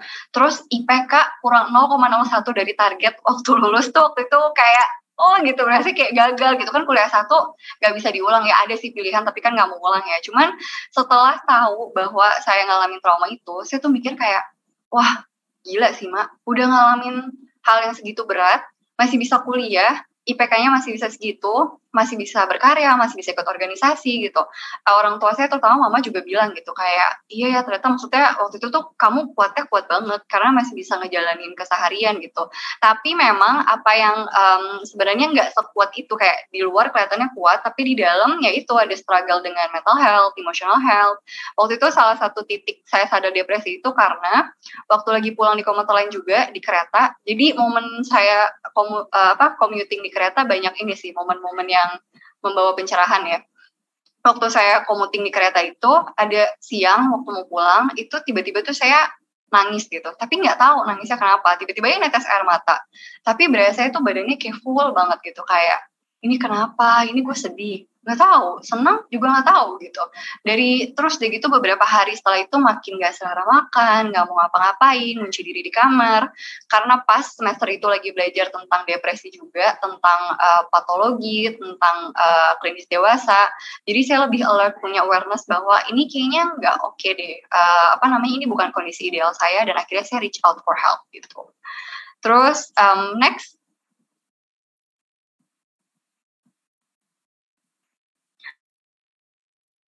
Oke, pelajaran berharga apa sih yang bisa didapat gitu? Tadi udah ya pelajaran, tapi ada lagi sebenarnya bisa dibawa untuk pelajaran ini untuk kita pelajari untuk kita semua gitu. Next. Hal berharga yang dimiliki atau didapatkan. Salah satu hal yang saya sadar betul itu kepemilikan akan privilege. Waktu abis saya ngomong di Candy, ada salah satu krunya yang bilang, uh, iya Ima beruntung banget ya karena Ima mahasiswi psikologi gitu. Terus saya ngerasa off sebenarnya dengan pernyataan itu gitu. Saya ngerasa kok kayaknya ada yang ganjel gitu. Nggak salah sih banyak ngomong gitu, tapi juga kok saya nggak happy dengernya ya. Setelah saya refleksiin tuh saya sadar sebenarnya kayak ini bukan soal beruntung gitu. Saya tahu juga teman-teman saya yang psikologi, sama-sama kuliah psikologi, ada juga yang waktu itu pernah bilang ke saya kayak kamu berani banget sih im uh, apa namanya mau konseling gitu. Terus saya bilang kayak kenapa nggak berani? Kan saya memang butuh bantuan gitu. Waktu itu saya belum tahu traumanya ya. Terus uh, apa namanya teman saya bilang iya kan nggak nyaman sebenarnya ngebuka diri ke orang lain cerita kayak gitu gitu. Nah waktu itu saya sadar mau kalian mau kita sama-sama mahasiswi psikologi mau kita sama-sama punya pengetahuan yang sama kalau kalian memang nggak memilih untuk menggunakan ini uh, sebagai sesuatu hal yang bisa membantu kalian ya itu nggak akan kepake gitu. Jadi saya sadar bahwa enggak saya nggak beruntung, bukan beruntung gitu. Itu terlalu underrated istilahnya. Tapi saya tahu saya punya privilege gitu. Saya punya ilmu pengetahuan. Privilege apa aja sih yang saya rasa saya dapetin dan menurut saya um, most likely kita semua di sini juga punya. Yang pertama akses untuk mendapatkan bantuan profesional. Yang kedua, akses untuk mendapatkan pengetahuan dan akses media sosial. Ini tuh kalau uh, ini terkait dengan lingkungan juga ya, kondisi lingkungan yang aman, tidak dalam kondisi perang dan sebagainya, atau akses untuk pindah ke lingkungan yang lebih aman. Saya nggak lama setelah cerita ke orang tua, kita memang waktu itu udah lagi pengen pindah rumah, tapi prosesnya jadi lebih cepat karena uh, orang tua orang tua saya sadar bahwa ini udah urgent banget gitu. Harus lebih cepat keluar dari sini pindah dari lingkungan ini gitu. Saya sadar nggak semua orang dapat privilege kayak gitu gitu. Bisa langsung pindah rumah bisa langsung uh, waktu itu pelakunya sampai saya pindah sampai sekarang sih karena saya masih beresin rumah lama juga sebelum dijual pelakunya masih ada di situ saya masih ketemu masih berpapasan uh, dan saya sadar kayak iya ya gila juga ya kalau misalkan selama proses pemulihan masih harus ketemu masih ngeliat dan masih aware bahwa pelaku masih ada di sekitar gitu dan kalau saya ngeliat cerita dari korban lain yang juga ngalamin gitu, saya tahu bahwa itu nggak mudah ketika mereka nggak punya akses tempat aman gitu, bisa langsung pindah dari lingkungan yang lama gitu. Nah, terus kalau ini refleksi juga untuk kita, mungkin media sosial tuh sekarang gampang banget ya dipakainya. Uh, eh, HP yang HP nggak usah terlalu mahal juga udah bisa gitu, udah mumpuni untuk uh, download uh, media sosial. Tapi pertanyaannya, apakah kita semua menggunakan akses ini yang sebenarnya juga privilege untuk hal-hal yang positif dan membangun buat diri sendiri dan untuk sesama gitu. Uh, terus saya juga ngeliat kalau misalkan kayak sekarang lagi ada perang, uh, terus ada negara-negara yang berkonflik, itu kan paling banyak sebenarnya mereka diputus akses komunikasi kan, baik secara sengaja ataupun tidak sengaja gitu. Ada pemerintah atau badan yang lain yang memutus komunikasi. Kalian kebayang nggak sih kalau kita di sini sekarang lagi dalam kondisi yang kayak gitu, nggak bisa komunikasi, nggak bisa ekspresi, nggak bisa ngepost pikiran atau perasaan kita, dan juga nggak bisa dapat informasi tentang apa yang terjadi gitu. Waktu saya refleksi kayak gitu, saya sadar bahwa ini benar-benar privilege yang karena sekarang saya sadar nggak semua orang punya kayak gitu, dan saya punya, saya mau pakai itu untuk hal-hal yang bermanfaat gitu. Terus yang terakhir privilege itu terkait dengan bekal pengetahuan dan pengalaman yang sudah dimiliki atau dipelajari. Kalau dari saya kan contohnya psikologi ya, tapi mungkin sebenarnya saya melihat setiap orang dari uh, mode ilmu yang berbeda itu pasti sebenarnya ada dia pengetahuan dan pengalaman yang uh, kalau mereka miliki itu pasti bisa membawa manfaat juga gitu buat orang lain. Terus uh, selain itu hal berharga yang menurut saya bisa kita refleksikan itu adalah kesempatan untuk berubah dan bertumbuh. Um, beberapa banyak orang saya sebenarnya ngomong yang kayak mak kok lu bisa sih bangkit gitu? Kok lu bisa sih ada di sini? Terus milih buat ngomong ke orang cerita tentang kasus dan yang lo alamin gitu. Terus saya sebenarnya pernah mikir gitu kenapa ya? Kenapa gue iain kick Andy gitu. Jangan uh, saya juga nggak tahu kick Andy yang nonton kan mungkin ribuan orang ya. Terus deh gitu waktu itu bukannya itu mudah gitu. Saya tiga hari sebelum kick Andy itu tiga hari berturut-turut nggak bisa tidur. Tapi saya udah tahu bahwa itu memang hal yang harus dijalani dan harus dilewati aja gitu. Tapi ketika saya sadar bahwa nggak semua korban atau survivor punya kesempatan untuk ngomong dan betapa saya tahu powerful banget kalau saya bisa cerita pengalaman saya dengan harapan bisa reach out orang-orang lain gitu ya, baik korban ataupun sistem pendukung gitu. Karena saya tahu seberapa powerfulnya itu, seberapa dampak yang bisa dihasilkan, makanya saya memilih untuk cerita gitu. Tapi itu juga menurut saya setelah saya meyakini bahwa saya bisa loh melihat kejadian pemerkosaan ini dari perspektif lain dan belajar sesuatu dari kejadian tersebut gitu. Saya belajar banyak tentang diri sendiri juga, kesempatan untuk mengenal diri serta merawat diri sendiri. Salah satu hal yang menarik itu gini, uh, saya tuh dari tahun 2013 itu sebenarnya memang tipe keluarga tuh tipe yang um, ada beberapa anggota keluarga yang cenderung agak konservatif gitu. Yang kalau ngomongin ke saya juga pakai baju, misalnya bajunya ini ya jangan kelihatan pantatnya, jangan kelihatan lekuk tubuhnya gitu. Terus setelah kejadian pemerkosaan itu, saya nggak sadar um, setiap kali saya pergi traveling uh, dan juga kalau solo traveling, saya tuh selalu bawa baju yang uh, mungkin cenderung lebih terbuka gitu, atau baju yang nggak akan saya pakai waktu saya ada di Jakarta. Sampai akhirnya pas 2019 di salah satu kelas meditasi, saya cerita soal ini, terus praktisinya nanya, kenapa bajunya cuma dipakai pas pergi traveling, kenapa bajunya nggak dipakai di Jakarta gitu. Itu mungkin kan dipakai gitu. Terus saya mikir, bener sih pakai baju dress bunga-bunga kan nggak apa-apa ya pakai di Jakarta gitu ya. Tapi ternyata setelah ketemu traumanya kebuka, saya sadar bahwa ada tanpa sadar ada rasa takut untuk memakai baju yang lebih terbuka karena saya ngerasa bahwa itu sebenarnya mengundang bahaya atau mengancam diri gitu. Setelah saya proses itu, setelah saya lepasin itu gitu, lepasin bebannya gitu ya dan perspektif ini, sekarang jadi saya rasanya ini bukan hanya tentang baju, tapi sebenarnya lebih tentang ini sih kebebasan berekspresi gitu. Bahwa apa yang saya pakai sebenarnya harusnya nggak mengancam bahaya saya gitu. Harusnya nggak jadi alasan buat orang lain menyakiti saya atau melewati batasan saya gitu. Tapi dari situ saya jadi tahu bahwa ternyata oh sebenarnya Ima yang asli itu tipe yang senang berekspresi lewat baju gitu. Dan gaya bajunya nggak cuma yang tertutup terbuka tapi banyak yang lain gitu. Itu jadi karena itu saya kenal diri sendiri Terus menurut saya juga ada kesempatan untuk menyusun ulang sistem kepercayaan diri dan nilai-nilai yang dianut. Kenapa penting sih sistem kepercayaan? Ini banyak terkait kalau ngomongin tentang psikologi juga ya. Manusia itu ada kesadaran, ada tingkat kesadaran. Ada yang sadar, ada yang alam bawah sadar. Kalau Inggris tuh uh, conscious, subconscious, sama unconscious gitu. Kita itu sebenarnya lebih banyak dikendalikan sama hal-hal yang ada di subconscious dan unconscious gitu. Jadi uh, misalnya kita ngerasa kayak kayaknya gue nggak apa-apa, kayaknya gue nggak apa-apa gitu. Tapi sebenarnya di, di bawah itu ada suatu hal yang terjadi dan kita bisa tahu cuman kalau kita terhubung dengan diri sendiri, rajin-rajin ngecek diri sendiri, diri sendiri tuh lagi kenapa gitu. Um, terus saya tuh banyak nemuin sistem kepercayaan yang menurut saya oke, okay, uh, saya punya pilihan untuk membuang sistem kepercayaan ini dan ganti dengan uh, apa namanya nilai-nilai yang baru. Contohnya apa? Tadi salah satunya terkait keperawanan ya uh, kayak misalkan cewek tuh lebih suci kalau perawan gitu terus waktu itu itu sakit banget sih sebenarnya karena pernah ada satu titik uh, di tahun 2020 waktu masih intens proses itu ada satu malam saya nggak bisa tidur terus saya resah akhirnya saya journaling terus waktu saya nulis saya sadar yang saya rasain waktu itu adalah perasaan jijik dan nista terhadap diri sendiri gitu. Tapi sebenarnya salah satu hal yang powerful kayak dari journaling, nulis atau mengekspresikan diri uh, bisa juga sebenarnya hal-hal positif itu keluar dari diri kita sendiri gitu. Jadi nggak lama setelah nulis itu saya sadar kayak Ima ngerasa jijiknya sama siapa? Sama diri sendiri gitu. Terus saya mikir kayak, kenapa saya harus jijik sama diri sendiri? Kan yang ngelakuin perilaku, uh, apa namanya, uh, hal yang menjijikan itu si pelaku, bukan saya gitu. Terus waktu itu saya mikir kayak, iya juga ya, kenapa saya harus ngerasa jijik sama diri sendiri gitu. Dan waktu itu saya sadar gitu, bahwa mungkin ini juga ya yang dialami korban-korban kekerasan seksual lainnya gitu. Karena masyarakat ngomongnya kayak gitu, karena masyarakat bilangnya korban yang harus ngerasa jijik sama dirinya sendiri, menyembunyikan dirinya sendiri, gitu. Jadi saya juga mengiyakan itu gitu. Padahal kalau saya lihat kayak cuy yang annoying kan yang salah kan pelakunya ya. Yang melakukan hal menjijikan kan pelakunya gitu. Nggak perlu Ima tuh nggak perlu ngebawa hal yang menjijikan ini gitu.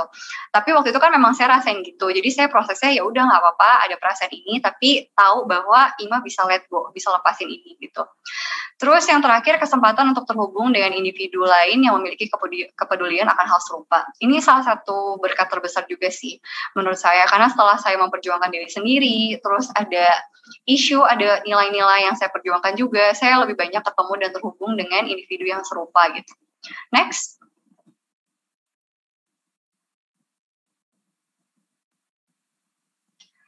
Nah, ini tuh salah satu hal yang sampai sekarang masih sering saya bagikan. Jadi menurut saya, kenapa sih seorang IMA bisa berproses?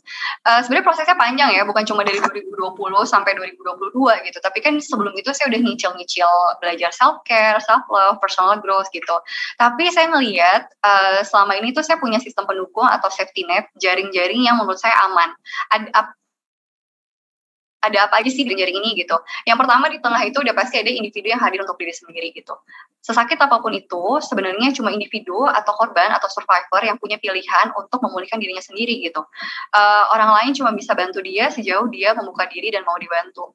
Terus, uh, tapi di samping itu, kita perlu mendukung individu ini dengan cara apa?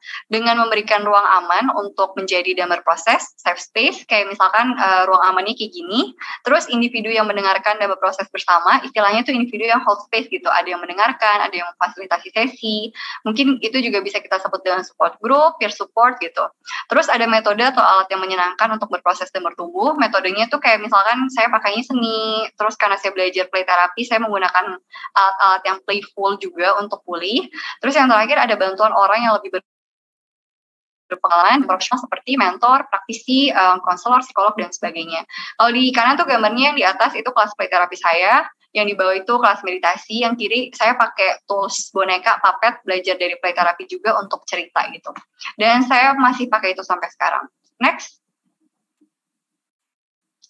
Setiap orang yang ada di sini, kita semua sebenarnya memiliki kemampuan tidak terhingga untuk membawa perubahan dalam hal ini bagi hal-hal seputar kekerasan seksual gitu. Sebenarnya kita semua tuh selalu bisa kayak ripple effect ya, satu titik aja sebenarnya yang jatuh itu bisa ngebawa, bisa jadi gelombang yang besar yang kita nggak tahu dampaknya sejauh apa. Jadi apa sih yang bisa kita lakukan terkait hal ini? Next. Nah ini terkait dengan kehebatan individu dan komunitas sebagai sistem pendukung. Nextnya. Nah, saya spesifik pertama mau coba share perspektif atau hal-hal yang bisa dilakukan oleh seseorang yang menjadi korban kekerasan seksual. Uh, saya share di sini kan karena saya nggak tahu ya ada atau enggak, mungkin ada yang uh, apa ikutan ini sekarang karena ngalamin juga. Yang pertama, shame thrives in secrecy. Proses pemulihan dan kebebasan berawal saat kita melepaskan penghakiman akan diri sendiri dan saat kita memilih untuk menceritakan pengalaman ini kepada orang yang bisa dipercaya dan bisa membantu. Shame, Charles, and Secrecy itu terkait erat dengan trauma. Jadi uh, masyarakat kan banyak ya sebenarnya budaya malu gitu. Kayak kalau kamu bikin salah harusnya malu dong sama diri sendiri. Kalau kamu ngalami sesuatu yang aib kayak gini harusnya kamu malu dong sama diri sendiri. Semakin orang di sekitarnya, lingkungan di sekitarnya bilang itu memalukan, semakin individu akan kayak itu kayak mengkerut gitu ya terus jadi uh, apa namanya ngumpet gitu kayak menyembunyikan diri nah masalahnya di ruang yang kayak gini yang sesak kayak gini di tempat individu bersembunyi proses healing atau pemulihan itu nggak akan bisa terjadi gitu. Itu bisa itu ketika ada ruang aman yang terbuka, individunya hadir di sini, dia cerita dan ada orang yang mendengarkan tanpa penghakiman, proses pemulihannya itu berawalnya dari sini. Dan ini uh, saya ngomong ini karena ini pengalaman sih juga gitu. Saya bisa cerita banyak hal dan mulai lebih terbuka sampai akhirnya traumanya keluar lagi karena saya punya komunitas, saya punya ruang aman yang setiap saya cerita tentang masalah, tentang isu, tentang kekurangan diri sendiri itu nggak ada yang menghakimi gitu. Terus yang kedua, mencari informasi terkait komunitas, ruang aman, organisasi atau lembaga, dan jenis bantuan lainnya sesuai dengan kebutuhan. Ini terutama karena ini ya, di sosial media kan selalu udah banyak pergerakan, banyak komunitas dan organisasi atau lembaga yang muncul untuk bantu korban kekerasan seksual. Jadi kita juga perlu cari informasi terkait itu. Terus apa yang dilakukan orang lain terhadap kamu mencerminkan dirinya sendiri dan apa yang kamu lakukan untuk kamu mencerminkan diri kamu yang sebenarnya.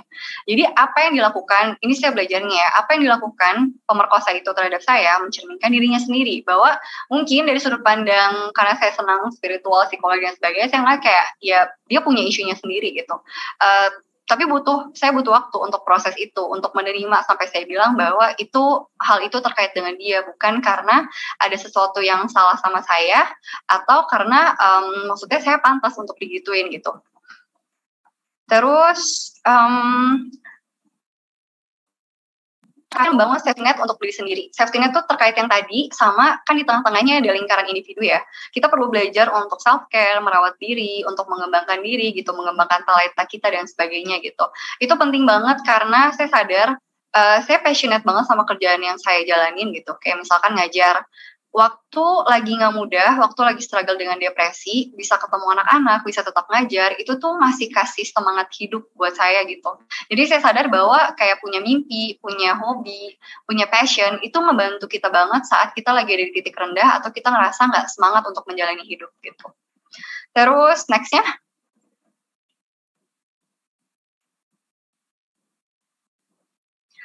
Nah, yang kedua, hal apa sih yang bisa dilakukan seseorang yang masuk dalam sistem eh, pendukung korban kekerasan seksual? Kalau misalkan dari kalian ada yang tahu teman kalian atau anggota keluarga atau kerabat yang ngalamin, hal apa sih yang bisa kalian lakukan? Ini perspektif yang saya bagi berdasarkan pengalaman ya. Yang pertama, secara terbuka, sabar, dan tanpa penghakiman mendengarkan dan hadir secara penuh untuk korban. Sebenarnya tanpa penghakiman tuh maksudnya apa sih gitu? Wajar lah ya kalau kita tuh sebagai masyarakat punya banyak nilai-nilai yang kita dengar gitu. Tapi ketika kita memilih untuk kayak oke okay, uh, eh, aku mengasihi dia dia lagi men, apa melewati sesuatu yang gak mudah ya aku mau dengerin aja gitu dia ngomong apa aku dengerin gitu. Yang kedua mendampingi korban dalam proses memenuhi kebutuhannya. Kebutuhannya apa sih? Contohnya jasmani dan rohani gitu. Biasa kalau ada di titik trauma yang lagi berat banget itu tuh untuk menjalani kehidupan sehari-hari yang misalnya ya mandi makan itu sulit banget gitu. Kalau punya sistem pendukung yang sadar akan hal itu kayak bisa ngingetin bantu semangatin yuk nggak apa-apa yuk makan gitu. Itu pasti akan ngebantu korban banget.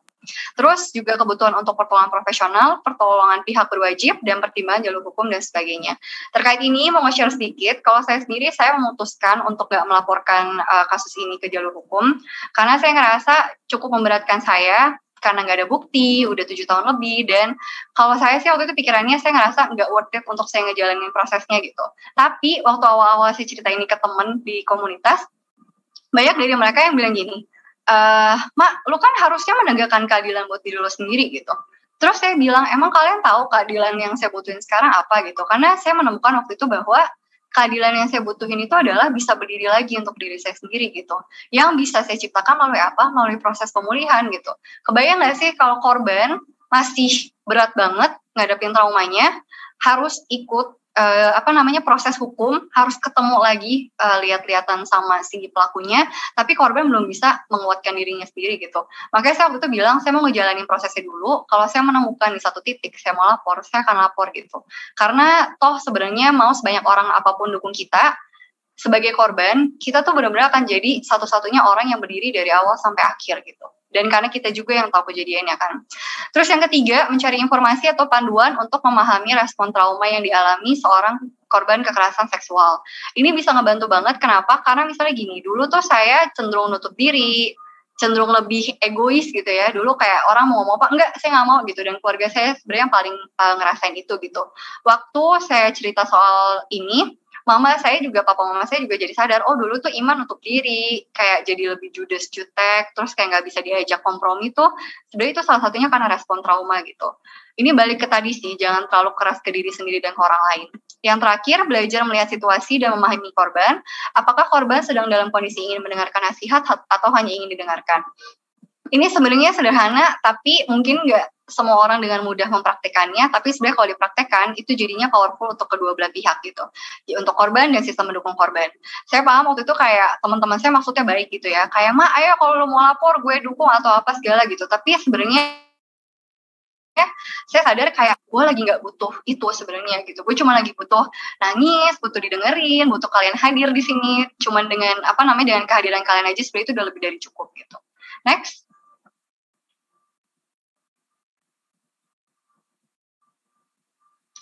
Nah, terakhir hal apa sih yang bisa kita lakukan sebagai komunitas? Kalau tadi kan spesifik ya pendukung korban, berarti kalian benar-benar lagi mendampingi korban gitu atau tahu apa yang dialamin. Kalau sebagai komunitas, kita tuh bisa secara sadar melakukan evaluasi akan nilai-nilai yang dianut. Apakah nilai tersebut masih relevan dan apakah nilai tersebut sifatnya memberi daya atau justru mengurangi daya? Memberi daya itu maksudnya ini empowering atau disempowering gitu. Uh, kita balik lagi ke statement, misalnya perempuan itu dianggap suci kalau masih perawan Pertanyaannya, apakah masih relevan dan apakah kita butuh untuk menaruh nilai seperti ini ke orang lain dan ke perempuan? Dan pertanyaannya juga, apakah uh, statement ini, nilai atau kepercayaan ini empowering perempuan atau justru disempowering perempuan gitu? Ketika saya sadar bahwa itu disempowering saya, saya memilih untuk melakukan lepaskan dan setelah itu juga saya milih untuk nge-share ke perempuan lain supaya sadar eh lihat deh ini tuh sebenarnya nggak perlu nilai ini dianut gitu. Uh, tapi orang punya pilihan ya. Kalau memang orang ngerasa masih relevan ya nggak apa-apa gitu di dianut aja. Tapi buat saya dengan apa yang saya alamin saya ngerasa itu udah gak relevan, itu lebih memberatkan dan menyakiti, makanya saya lepaskan. Tapi menurut saya, kalau masyarakat secara sadar melakukan evaluasi ini, sebenarnya pergerakannya yang terjadi akan lebih kuat daripada sekarang gitu. Karena ini tadi sih terkait dengan alam bawah sadar, banyak hal yang kita simpan, tapi kita nggak sadar gitu. Terus yang kedua, melatih diri untuk melihat dan menyikapi suatu hal dengan sikap terbuka dan apa hakiman. PSB tanpa penghakiman ini juga uh, apa namanya bukan cuma buat korban ya. Misalnya buat tersangka, tadi kalau kayak presentasi sebelumnya kan, maksudnya kita mendengarkan gitu. Dan menurut saya mungkin mendengarkan kedua belah pihak itu ada baiknya. Terus penghargaan akan privilege dan menggunakan privilege untuk membawa manfaat bagi diri sendiri sesama. Kemudian secara sadar dan bertanggung jawab menggunakan media sosial sebagai sarana untuk belajar dan berbagi informasi seputar kekerasan seksual. Dilihat juga informasinya benar-benar ditilik dulu apakah ini benar, apakah ini worth it untuk dibagikan ke orang sekitar, terus bisa bergerak sebagai individu dan bagian dari komunitas untuk membangun ruang yang aman untuk menjadi dan berekspresi, dan yang terakhir aktif terlibat dalam kegiatan atau pergerakan yang membantu membawa perubahan bagi masyarakat. Ini caranya banyak banget ya, dan sekarang kan wadahnya banyak ya, mau dari seni, mau uh, kegiatan aktivis, mau turun ke jalan, itu semuanya membawa dampak. Nextnya. Penutupnya, kalau dari saya, aku bermimpi akan dunia yang penuh dengan kasih dan kedamaian. Dunia di mana setiap individunya sibuk berkarya dan merayakan keindahan satu sama lain, bukan saling menghakimi, menjatuhkan, ataupun menyakiti. Aku sendiri memilih mewujudkan mimpi ini melalui diri sendiri, karena aku sudah tahu sekarang betapa hebat dampak yang bisa diciptakan oleh satu orang. Nah, bagaimana dengan kalian? Apa yang kalian pilih? Mungkin bisa didiskusikan setelah ini. Oke, dari saya udah selesai. Terima kasih. Baik, terima kasih eh, Ibu Maria Immaculata. Ya, mari kita berikan reaction virtual kepada beliau. Ya, terima kasih sekali lagi ya. Saya panggilnya Mbak aja ya. Iya, panggil Mbak aja, Ibu Ketua. Iya, Oke, baik ya. Saya menggarisbawahi sedikit tadi Mbak Maria ini dia mencoba melihat dari sejarah perjalanan hidupnya dari tahun 2013 yang juga pernah mengalami kekerasan seksual begitu. Dan sampai tahun 2022 tidak mudah untuk menjalani itu semua. Ada pasang surut. Ada pasang surut ada ada trauma yang juga bahkan belum bisa diselesaikan dengan tuntas begitu sampai saat ini yang masih bisa berdampak terhadap uh, diri Baik, eh, tadi juga beberapa hal penting yang bisa dipelajari dari pengalaman tersebut adalah bahwa ternyata kekerasan seksual itu bisa terjadi di mana saja, kapan saja. Begitu dan eh, tentu justru banyak stigma stigma stigma, stigma stigma yang justru memberatkan korban. Tadi di garis bawahi tadi oleh eh, Mbak Imakulata dan juga dari pengalaman Mbak Imakulata manusia itu punya resiliensi, kemampuan untuk bangkit dari pengalaman-pengalaman traumatik yang pernah dialami terkait dengan kekerasan seksual ini. Itu sebabnya temanya tadi cukup bagus, bagaimana kita membangun kehebatan individu dan juga komunitas yang kuat untuk melawan ya tindak pidana kekerasan seksual ini. Saudara-saudara semua, terutama dengan berani ya untuk menciptakan ya eh, support system ya komunitas yang hebat untuk melawan itu semua. Itu tadi yang perlu kita garis bawahi dan kita catat ya bersama dari pengalaman dan juga pemaparan dari Mbak Maria Immaculata mendalam ya saya cukup terharu tadi ya untuk mendengarkannya terima kasih. Baik, selanjutnya ini sudah banyak pertanyaan saudara-saudara ya untuk Mbak Anindia dan juga Mbak Maria. Saya bacakan dulu satu persatu nanti saya akan uh, sudah saya catat beberapa. Yang pertama itu Mbak Anindia, ini ada pertanyaan untuk Mbak Mbak Anindia dari Diah dari Universitas Gajah Mada.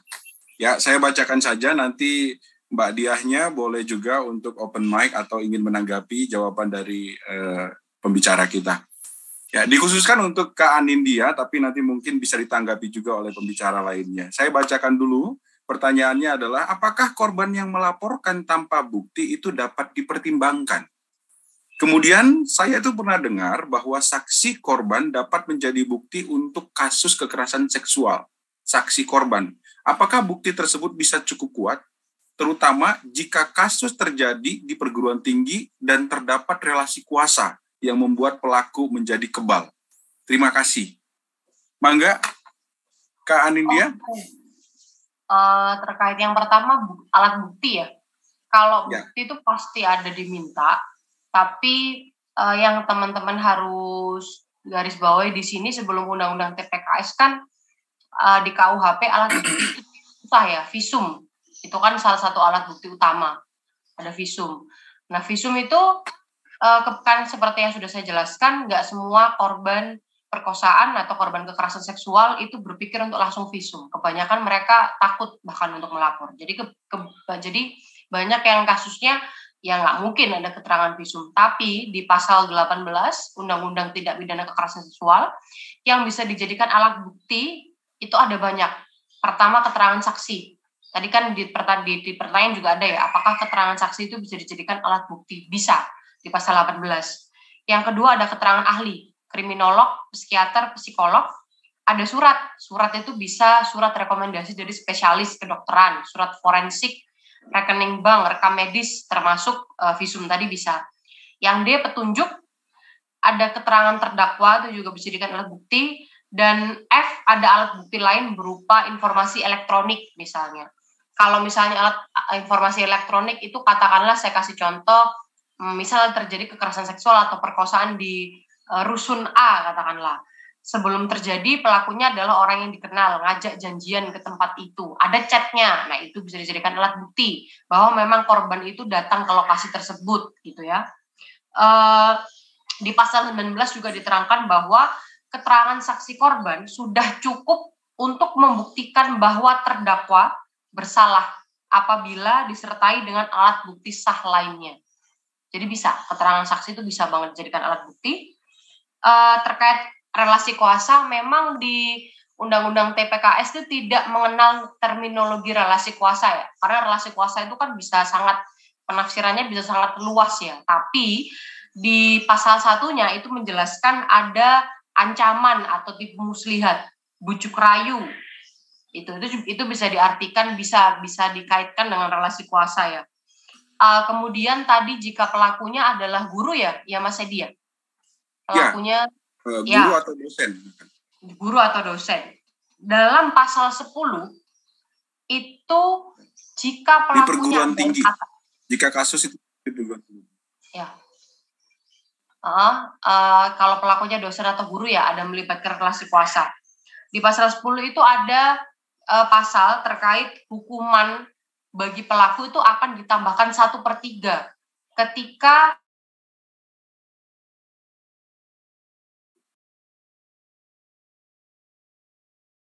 Mohon maaf Mbak Anindya, apakah Oke, mungkin Mbak Anindianya sedang ada masalah koneksi. Itu dalam Undang-Undang TPKS, jika itu terjadi, hukumannya itu ditambah satu per tiga dari hukuman aslinya. Jadi berat hukumannya. Uh, udah sih, ya, itu aja. Agak, agak terputus tadi. Oh. Agak terputus ya. di bagian relasi kuasa. Oh ya, uh, di pasal 10 Mas Edi itu ada uh, yang mengatakan bahwa ada satu per tiga hukuman tambahan dari hukuman yang dijatuhi, misal 10 tahun ya, ditambahin satu per tiga lagi, jika pelakunya itu adalah atasan atau dibahasakan di pasal 10 itu orang yang harusnya menjaga kita.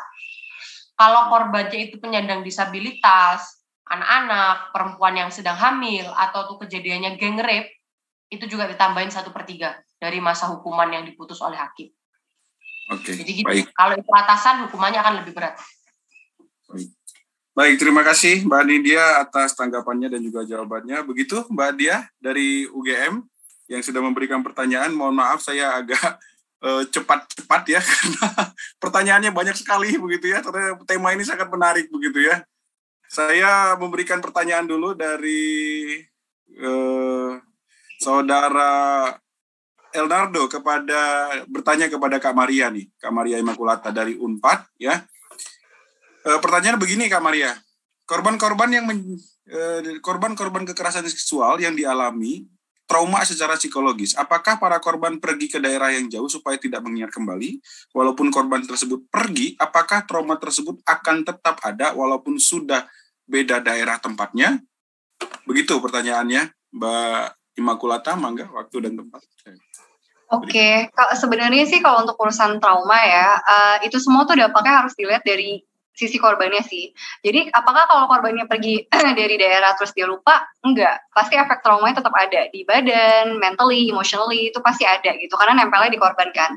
Tapi kalau dari yang saya uh, dari pengalaman saya sendiri, dari yang saya baca juga uh, apa namanya ada di tempat aman atau kita tahu bahwa ini uh, tersangka udah nggak ada akses ke kita, itu ngebantu proses pemulihannya lebih cepat sebenarnya. Kenapa? Karena kita ngerasa lebih aman. Kalau dari saya sendiri gitu, dulu kan saya nggak ngerasa aman ya keluar rumah karena sekarang udah pindah rumah ya saya jadi ngerasa kayak kalau keluar rumah saya udah tahu nggak ada mereka gitu jadi proses pemulihannya jalannya lebih cepat gitu tapi sebenarnya uh, makanya terkait dengan rasa safety itu sebenarnya benar-benar butuh dibantu korbannya juga kenapa karena selama memori trauma dan dampaknya masih ada di sistemnya korban rasa safety-nya itu sebenarnya belum akan terpenuhi gitu mau kita pindah ke luar negeri ke ujung dunia ke Antartika kalau saya belum proses trauma saya rasa takutnya, uh, ingatan akan uh, pelaku, terus dampak-dampak lainnya gitu ya yang bikin takut, bikin saya apa namanya menyembunyikan diri, itu tetap akan ada gitu. Jadi memang butuh proses yang di dalam kayak proses pemulihan, pertumbuhan dan sebagainya dan dibantu juga dengan proses yang ada di luar gitu. Baik, terima kasih Mbak Ima atas jawabannya. Semoga terjawab ya Mas uh, Elnardo dari UNPAD. Baik, eh, saya ke pertanyaan selanjutnya. Ini ada pertanyaan untuk Mbak Anin dari Rosa Mistika. Mbak Rosa, halo selamat pagi Mbak Rosa. Agar kita lebih interaktif, apakah bisa disampaikan langsung saja Mbak Rosa pertanyaannya? Atau apakah bisa open mic? Halo Mbak Rosa, selamat pagi.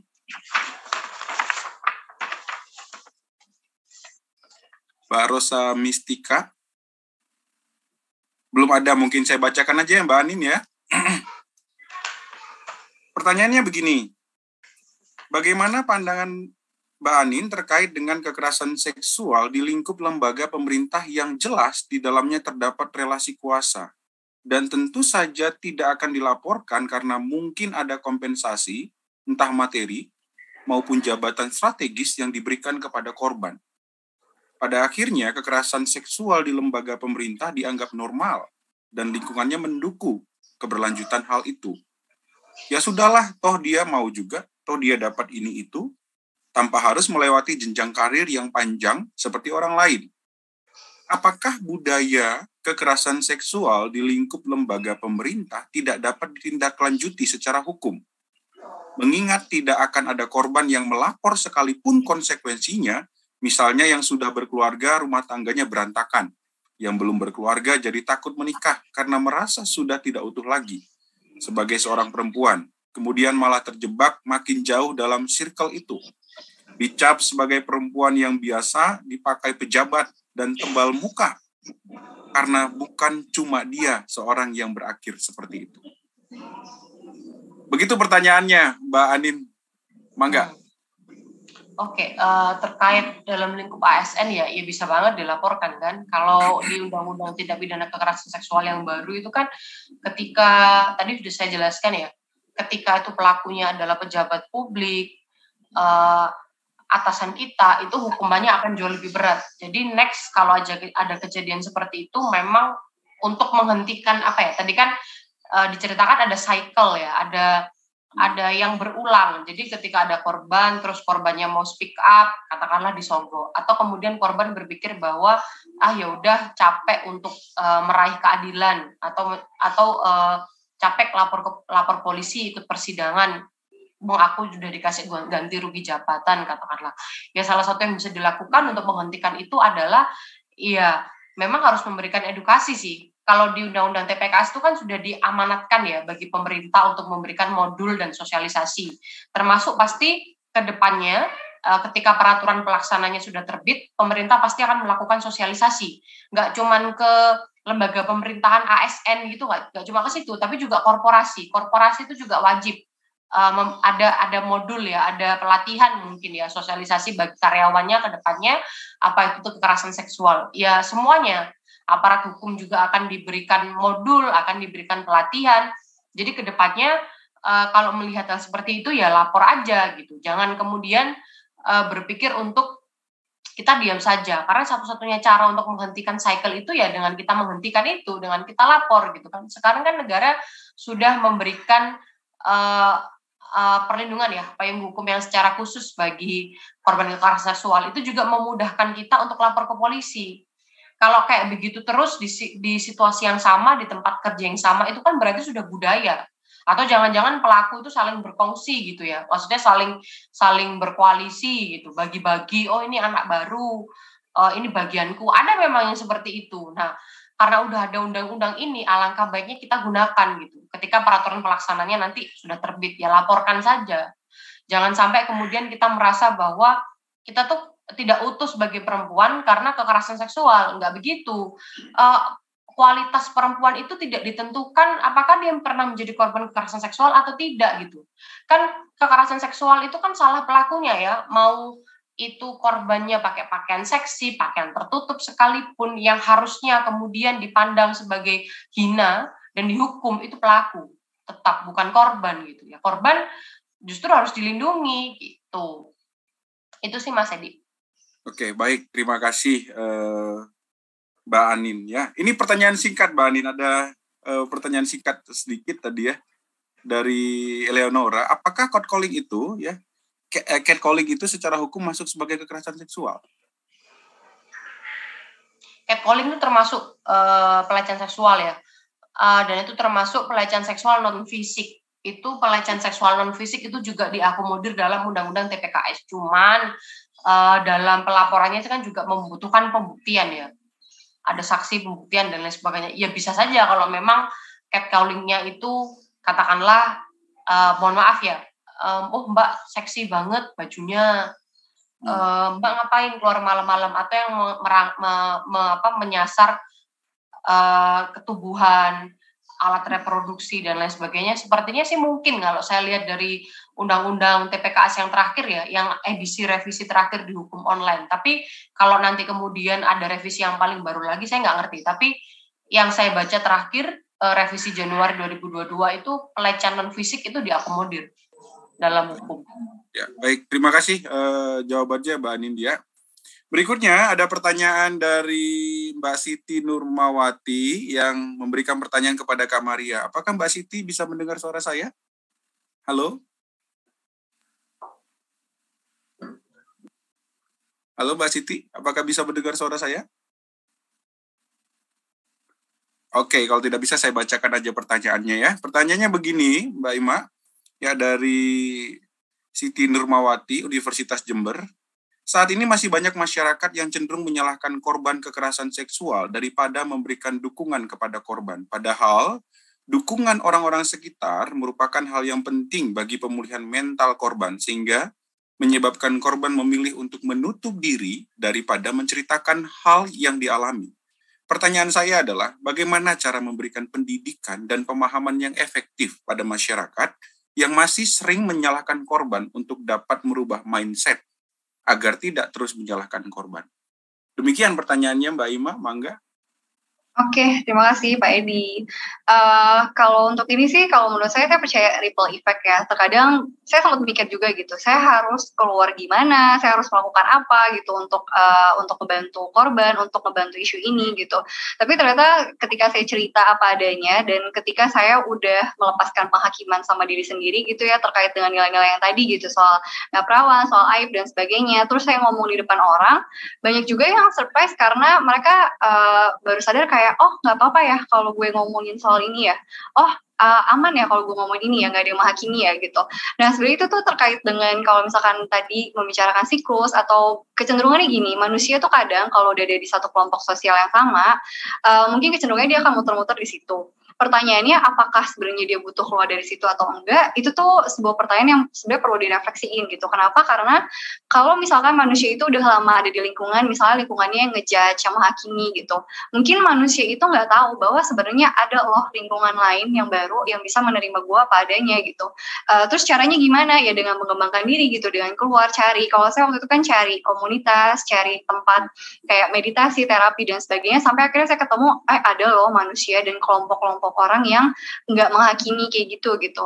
Nah saya ngelihat kayak ini sebenarnya satu hal yang bisa banget dibawa sih uh, bahwa um, kita muncul tanpa penghakiman, kasih lihat ke orang bahwa misalkan contohnya saya ketika saya ngomong kayak gini cerita tentang kejadian saya ada orang ada ruang aman seperti saat ini yang nggak menghakimi tapi kita malah bisa sama-sama diskusi bareng tentang hal ini gitu yang kedua saya percaya soal ini sih istilahnya apa ya keterpaparan ya. Kalau kita raising awareness itu kan memang kadang harus kecil-kecil tapi saya melihatnya lebih efektif kalau lebih sering gitu.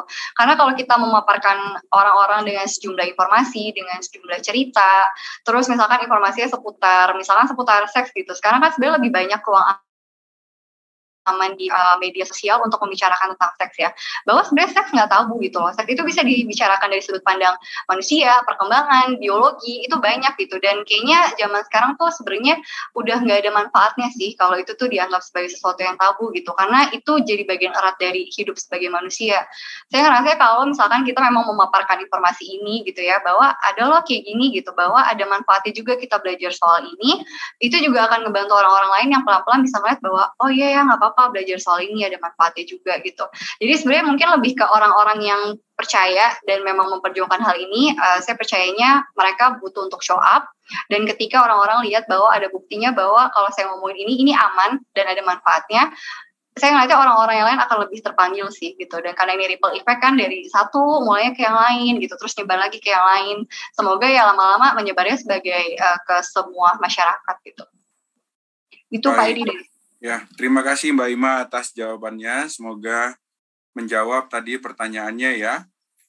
Kita akan lanjut ke pertanyaan berikutnya. Ini ada pertanyaan dari, saya bacakan aja ya Mbak ya. Untuk Mbak Anin, dari Friska Telaum Banua, dari Universitas Dharma Andalas Padang. Eh, bagaimana tanggapannya ya terhadap hukum kebiri jika diberlakukan kembali. Bagaimana tanggapan kakak tentang pemberlakuan hukum kebiri bagi pelaku eh, kekerasan seksual? Begitu pertanyaannya Mbak Anin? Mangga. Oke. Okay. uh, ya. Jadi memang hukum kebiri, kemarin ada yang uh, ingat ya kasus kekerasan santren. Nah, mungkin Mas Edi juga dengar ya? Iya, betul. Uh, ya, yang pesantren pelakunya Heri Wirawan. Betul. Sebelumnya jaksa itu juga kalau nggak salah selain menuntut hukuman mati itu juga hukuman kebiri. Ini ada dua perspektif ya. Saya sebenarnya dalam posisi hukuman mati dan hukuman kebiri itu 50-50. Jadi saya sebenarnya tidak menentukan posisi, saya pribadi tidak menentukan posisi uh, sama sekali kontra atau sama sekali pro. Karena memang kalau kita mau ngomong efektivitas, Iya, nggak nggak ada yang menjamin hukum itu bisa efektif 100%. Makanya kalau dalam undang-undang TPKS itu kan dis, di, diselingi dengan pencegahan kan. Selain pemidanaan itu kan harus yang penting itu juga pencegahan agar kekerasan seksual itu tidak, tidak terjadi.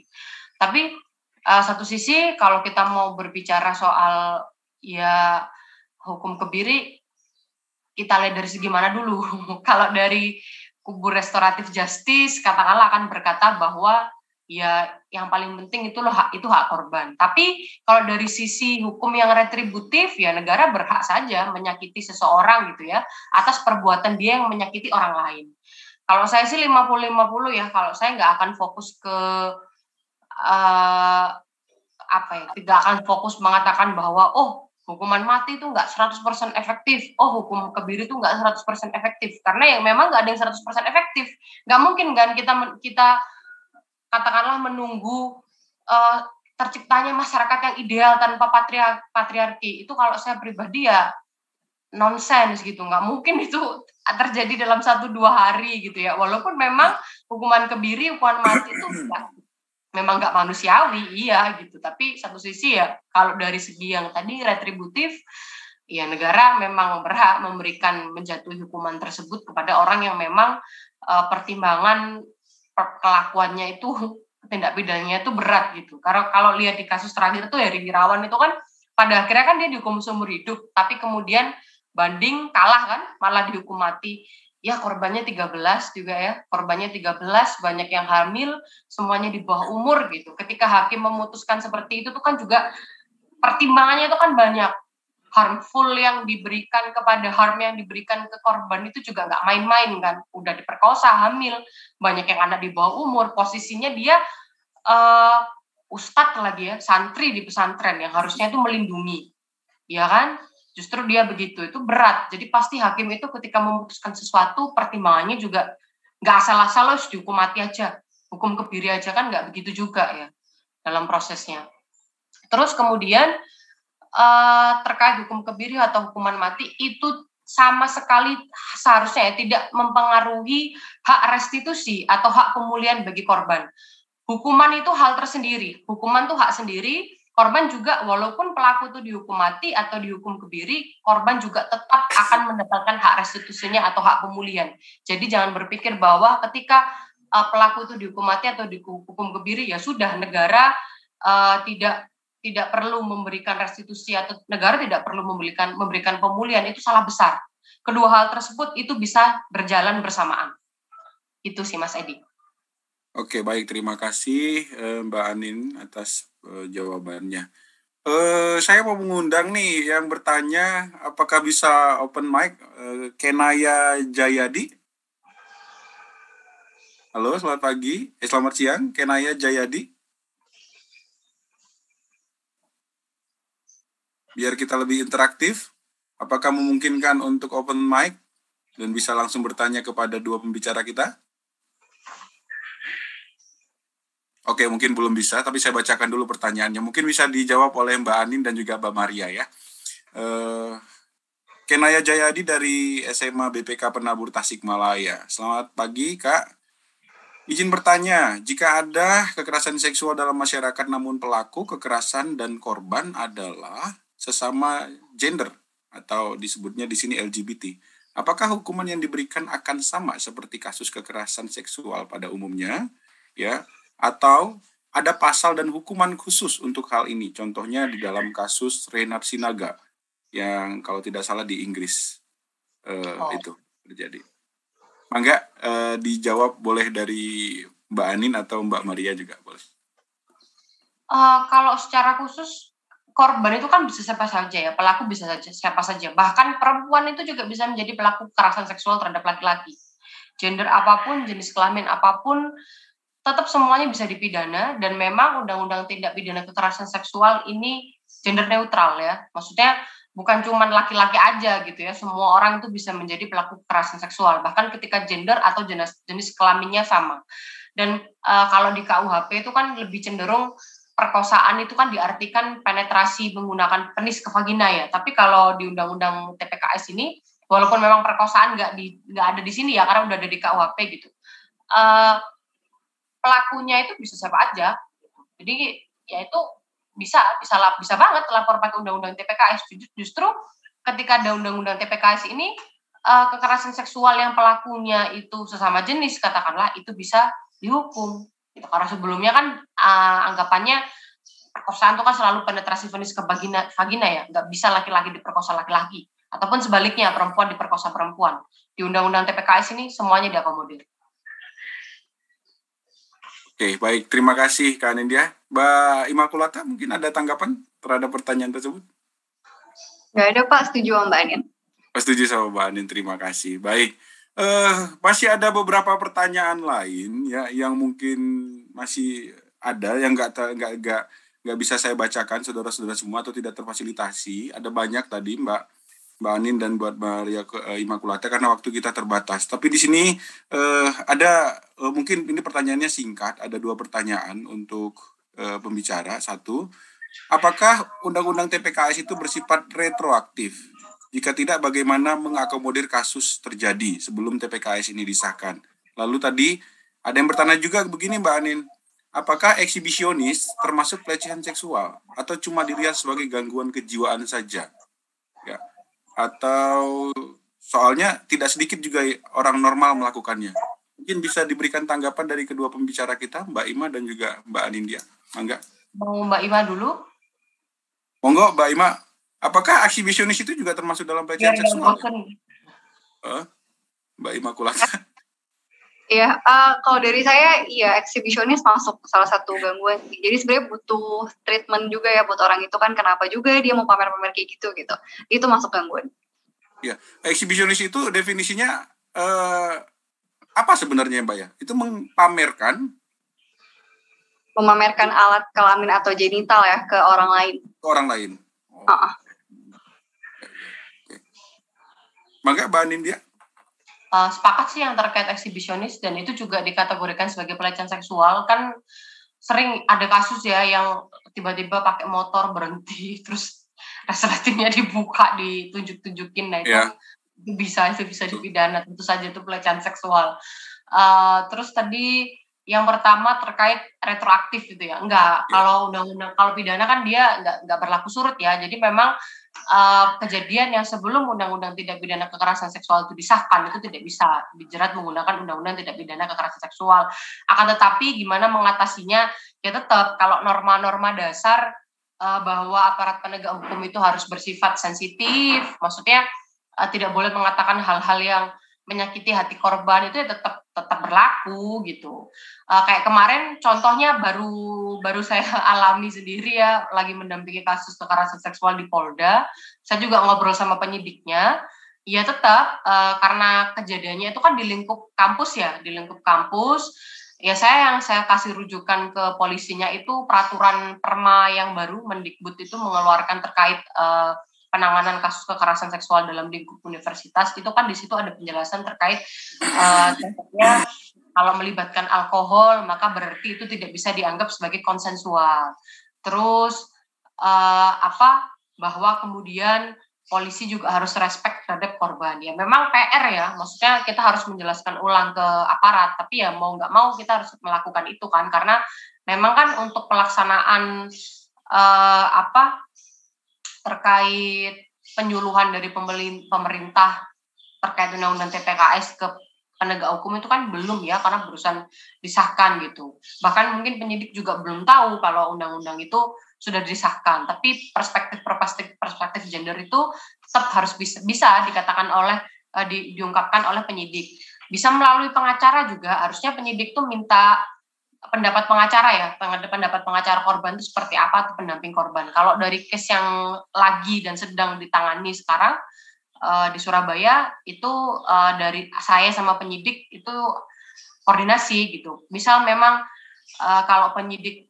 mempertanyakan hal-hal yang yang nggak aware sama perspektif gender ya saya harus harus itu menjelaskan ulang ya memang memang kayak gitu kerjanya. Baik, terima kasih Kak Anin ya dan juga Mbak Ima. Karena waktu kita sudah habis, mohon maaf untuk penanya-penanya yang eh, pertanyaannya belum dijawab nanti panitia mungkin bisa memfasilitasi untuk mengumpulkan pertanyaan-pertanyaan karena sudah saya kumpulkan tadi beberapa pertanyaan yang eh, belum sempat dibacakan untuk Mbak Anindia dan juga Mbak Imakulata. Terima kasih sekali lagi Mbak Imakulata dan Mbak Anindia apakah ada satu apa quote atau terakhir untuk para peserta untuk untuk kita semua dari Mbak Anin atau Mbak Imakulata, mangga silakan terkait oh. dengan tema kita hari ini. Silakan Mbak. Kalau aku singkat aja sih, jangan takut lapor polisi gitu. Kan sekarang sudah ada undang-undang yang memfasilitasi kita. Ya, langkah baiknya kemudian itu digunakan ya yang sudah difasilitasi negara dan supaya uh, para pelaku kekerasan seksual ini nggak bebas dari hukuman lagi gitu. Ya bawalah cari keadilan itu ke pengadilan, berikan mereka hukuman yang setimpal. Itu dari saya. Dari Mbak Ima, mangga. Uh, pertama mau terima kasih dulu untuk semua yang di sini ya, Pak Edi, Mbak Enin, panitia, para peserta. Karena maksudnya dengan kalian punya keinginan untuk belajar, untuk mendapatkan informasi baru terkait ini tuh, menurut saya ini udah ini sih satu arah dan langkah yang lebih baik untuk perubahan gitu. Dan terkait perubahan sendiri, memang perubahan itu nggak mudah ya, ada prosesnya, ada waktunya gitu. Tapi uh, percayalah karena kita semua pantas untuk punya kondisi yang lebih baik dalam hidup di masyarakat, ya mari kita sama-sama ngejalanin peranan kita masing-masing dengan kemampuan masing-masing gitu. Baik, terima kasih. Ya, terima kasih untuk Mbak Ima, Mbak Maria Imakulata dan Mbak Anindya Sabrina. Kita berikan aplaus meriah dulu secara virtual boleh kepada para pembicara kita yang luar biasa pada hari ini. Terima kasih yang sudah menginspirasi kita.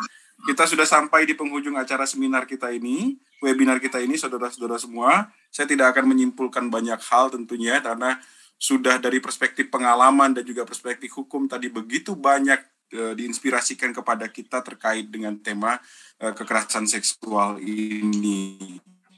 Ya, Mbak Nindya tadi mengajak kita untuk sadar secara hukum dan berani ya, menawarkan keberanian untuk kita melaporkan kekerasan, tindakan-tindakan kekerasan itu. Dan pentingnya untuk membangun strategi-strategi untuk melawan tindak kekerasan seksual yang e, terjadi saudara-saudara semua. Dan juga bagaimana tadi Mbak Maria Imakulata itu juga menawarkan bagaimana ya secara personal kita harus bangkit kuat dan hebat secara individu untuk melawan perilaku-perilaku kekerasan seksual dan juga membangun support system terutama di dalam komunitas yang kuat ya yang bisa membantu dan memadai kita untuk menciptakan lingkungan yang anti terhadap kekerasan seksual. Terima kasih sekali lagi Mbak Maria Imakulata. Di akhir ini saya mau mengajak kita semua untuk menyimpulkan bersama ya. Di sini saya sudah saya kirimkan Padlet, link Padlet. Mohon e, bisa diklik. Saya mau bertanya untuk kepada semua peserta ya. Apakah kelihatan? silahkan diklik Padletnya. Saya memberikan satu pertanyaan untuk kita semua. Apa yang akan kita lakukan untuk memberantas kekerasan seksual? Silahkan tinggal diklik saja dan kita menunggu ya apa yang harus kita lakukan untuk membangun niat kita bersama saudara-saudara agar ini sungguh-sungguh menjadi tugas kita bersama setelah mengikuti webinar ini ya dan saya tadi sudah menuliskan, saya akan berusaha di kelas saya bertemu dengan orang ya untuk selalu mensosialisasikan TPU KS. Ya, saudara-saudara. Ya. Edukasi dan sosialisasi silahkan yang lainnya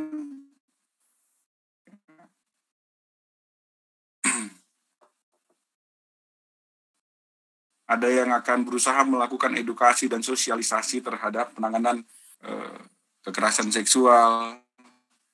Dari diri sendiri kepedulian dan keberanian. Bagus sekali. Yang lain silahkan. Lalu kemudian ada lagi. Hal yang baik harus disebarkan disosialisasikan secara luas berani bersikap tegas berusaha melakukan edukasi soal kekerasan seksual edukasi sejak dini Lalu hal yang baik harus disebarkan secara luas, ya. Saya akan menjadi aktivis menyuarakan kasus, ya, dan menjadi aktivis luar biasa. Silahkan masih kita tunggu beberapa niat baik kita bersama agar sungguh berdampak dari value yang kita eksplorasi bersama di dalam webinar ini. Ada juga yang mengatakan saya jangan pernah takut untuk speak up memberikan edukasi kepada masyarakat, memberitahu efek jerah, dan lain sebagainya. Baik, teman-teman semua, karena kita sudah terbatas waktu, ya nanti saya akan sharekan juga apa yang sudah kita tuliskan bersama di dalam Padlet ini, di dalam wall ini ya, ya sebagai bentuk niat kita bersama. Semoga ya orang yang ada di webinar ini sungguh-sungguh dapat terlibat dan berpartisipasi untuk memberantas kekerasan seksual seperti yang sudah kita tulis di wall Padlet ini. Sekian dari saya. Ya, terima kasih untuk para peserta dan juga untuk khususnya bagi Mbak Anindya dan juga Mbak Maria Imakulata. Waktu dan tempat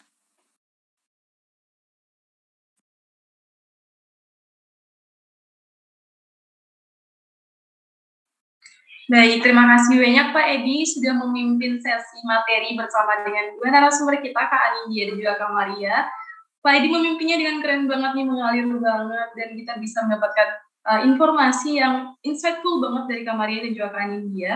Dan dari uh, pembicaraan yang disampaikan oleh Kak Anindya maupun Kak Maria tadi, kita tahu kalau sekarang ini korban-korban uh, kekerasan seksual sudah semakin dijamin dengan keberadaan UU TKPS 2022 ini dan juga uh, sebagai dari sisi korban juga kita bisa punya kepemilikan ataupun privilege untuk mendapatkan akses bantuan untuk memulihkan psikologis kita dan memanfaatkan itu untuk terus uh, berubah dan bertumbuh ke depannya.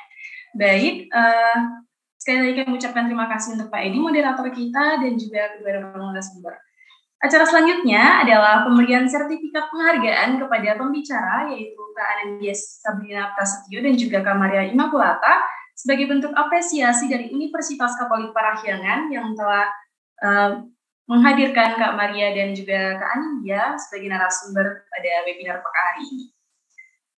Baik, sertifikat pertama ditujukan kepada Kak Anindya Sabrina Prasetyo SH sebagai pembicara webinar peka tertanggal 28 April 2022. Kak Anindya, kita ambil dokumentasinya terlebih dahulu ya. Ya, baik. Kan diambil dalam satu, dua, tiga, Baik. Uh, sekali lagi ya Kak, diambil dalam satu, dua, tiga. Baik, terima kasih Kak Nindya. Uh, sertifikat berikutnya ditujukan kepada Kak Maria Imakulata sebagai pembicara dalam webinar PK tertanggal 28 April 2022. Untuk Kak Maria juga kita ambil dokumentasi terlebih dahulu dalam 1, 2, 3. Oke, okay, terima kasih Kak Maria. Uh, jangan di uh, on cam dulu, ya off cam dulu maksudnya karena kita akan mengambil dokumentasi juga bersama dengan teman-teman peserta semuanya. Uh, bagi teman-teman peserta yang sekiranya memungkinkan boleh nih diaktifkan kameranya dong biar kita bisa mengambil dokumentasi bersama dua orang moderator kita yang sudah sangat keren membawakan materi hari ini. Um, boleh teman-teman panitia mempersiapkan sisi dokumentasi.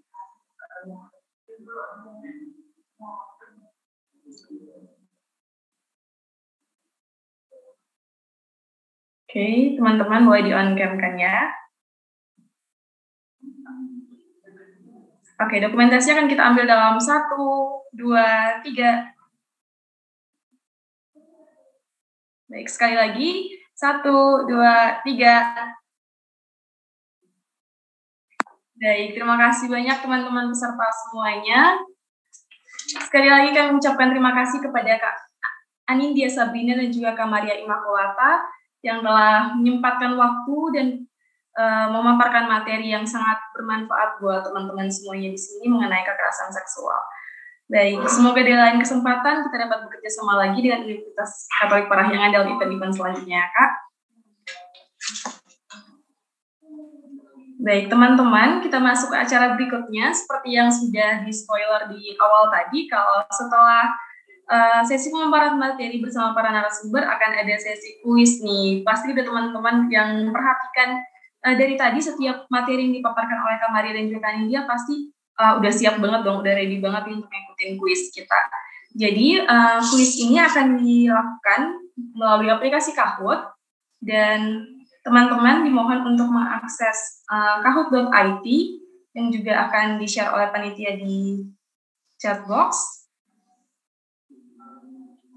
diharapkan untuk eh, mengakses account-nya terlebih dahulu dan memasukkan password dan username yang tertera di layar.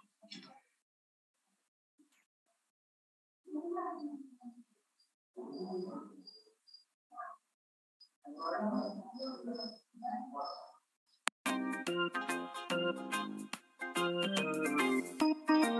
you.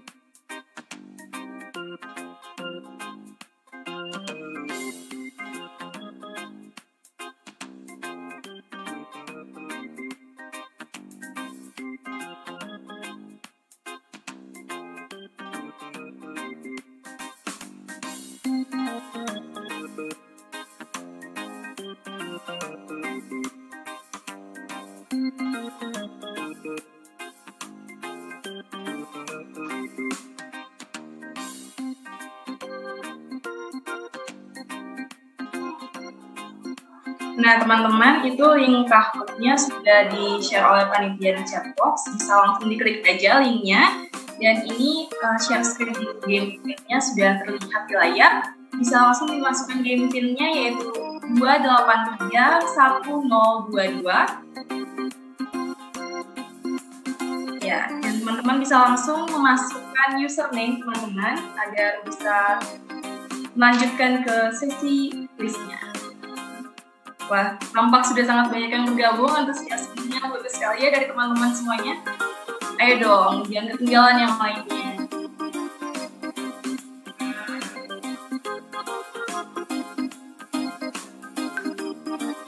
Oke, di sini kita sudah bisa melihat, oh, oke, ada Kak Anas Kade, ada Kak Naya Jayadi, ada Kak Asina Nabila, Kak Dea, ayo dong teman-teman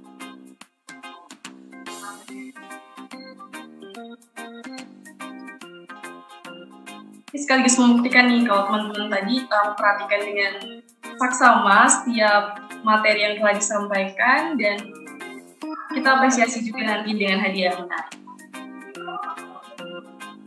Wow, wow, wow. Sudah 45, 46 yang bergabung. Kita tunggu beberapa menit lagi, teman-teman semuanya.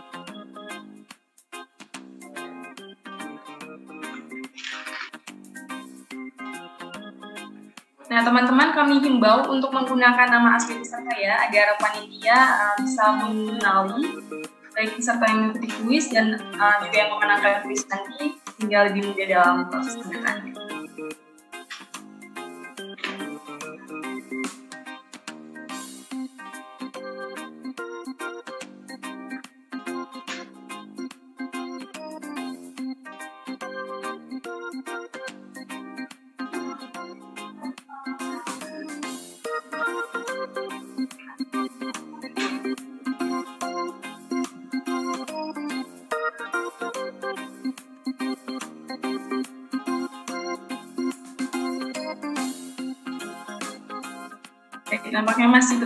Bergabung. Banyak peserta lagi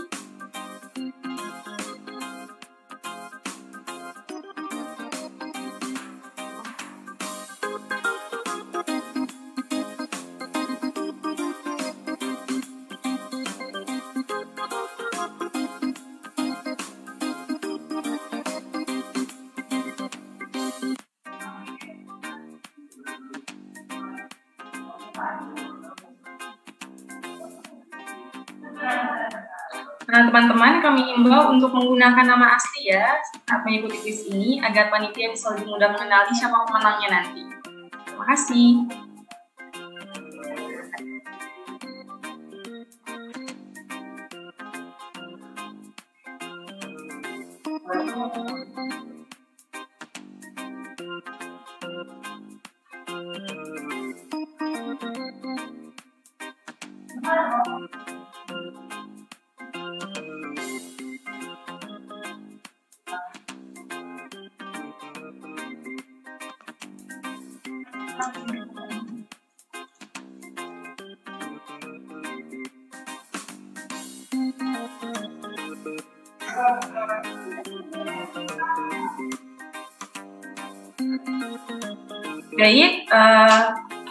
Vlognya sudah kita kunci dan sekarang akan kita mulai.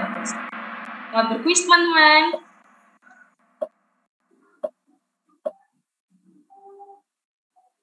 Oke, pertanyaan pertama, apa nama kegiatan webinar kita hari ini? Wah, gampang banget nih, udah dari awal ini ya, ulang-ulang. Teman-teman yang perhatiin, tahu nih yang langsung jawabannya. Oh, cepat banget. bagus, bagus, bagus.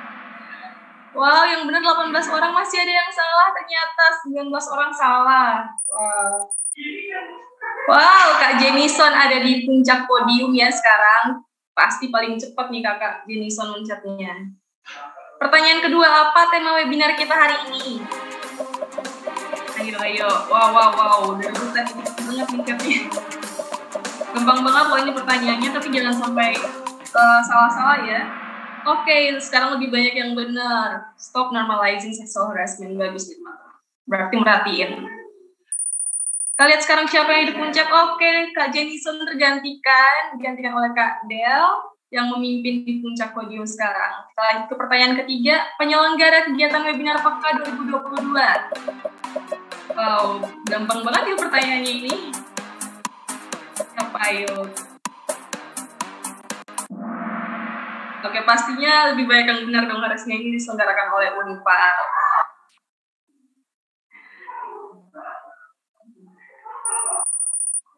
Oke Kak Del masih memimpin di puncak podium. Apakah akan tergantikan? Kita lihat saja. Di sini ada pertanyaan keempat. Siapa nama pembicara kita hari ini? Oke, jangan sampai salah milih ya, karena ini mungkin kan biasa kakak nih. Oke, bagus. Banyak yang benar, walaupun masih ada yang salah. Ya, terima kasih Kak Anindya. Salam sehat selalu. Oke, ternyata Kak Del masih anteng aja di puncak podium. Pertanyaan berikutnya, berapa tahun yang dibutuhkan Kak Maria Imukulata untuk baginya trauma kekerasan seksual yang dialami?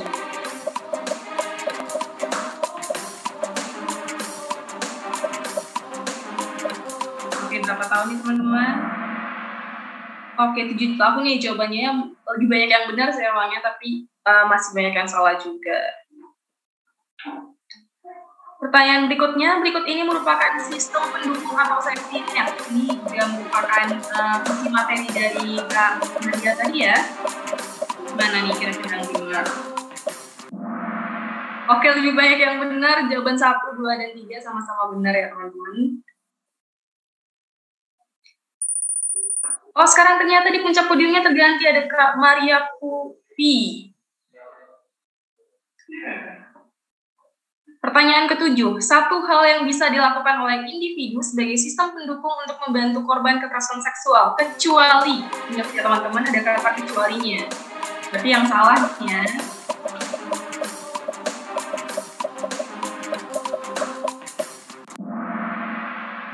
Oke, yang benar mendampingi korban hanya setelah ia keluar dari proses. Lebih banyak yang benar ya, berarti merhatiin banget teman-teman. Wow, keren. Kak Maria, aku masih ada di puncak podium. Wow, keren. Pertanyaan ke-8 yang bukan termasuk dalam kekerasan seksual yang diatur dalam UU TPKS 2022. Yang bukan ya teman-teman.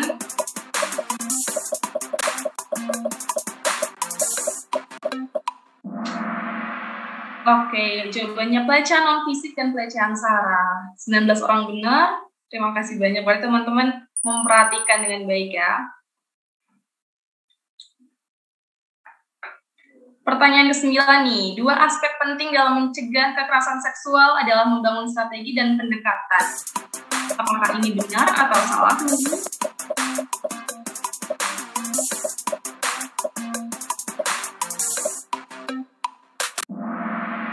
Wah, benar. Dan wow, 48 orang benar ya. Bagus banget. Kak Maria, aku masih anteng aja nih di puncak podium. Oke, ini pertanyaan terakhir. Pencegahan dengan membangun strategi dapat dilakukan dengan bystander approach. Apakah ini benar atau salah?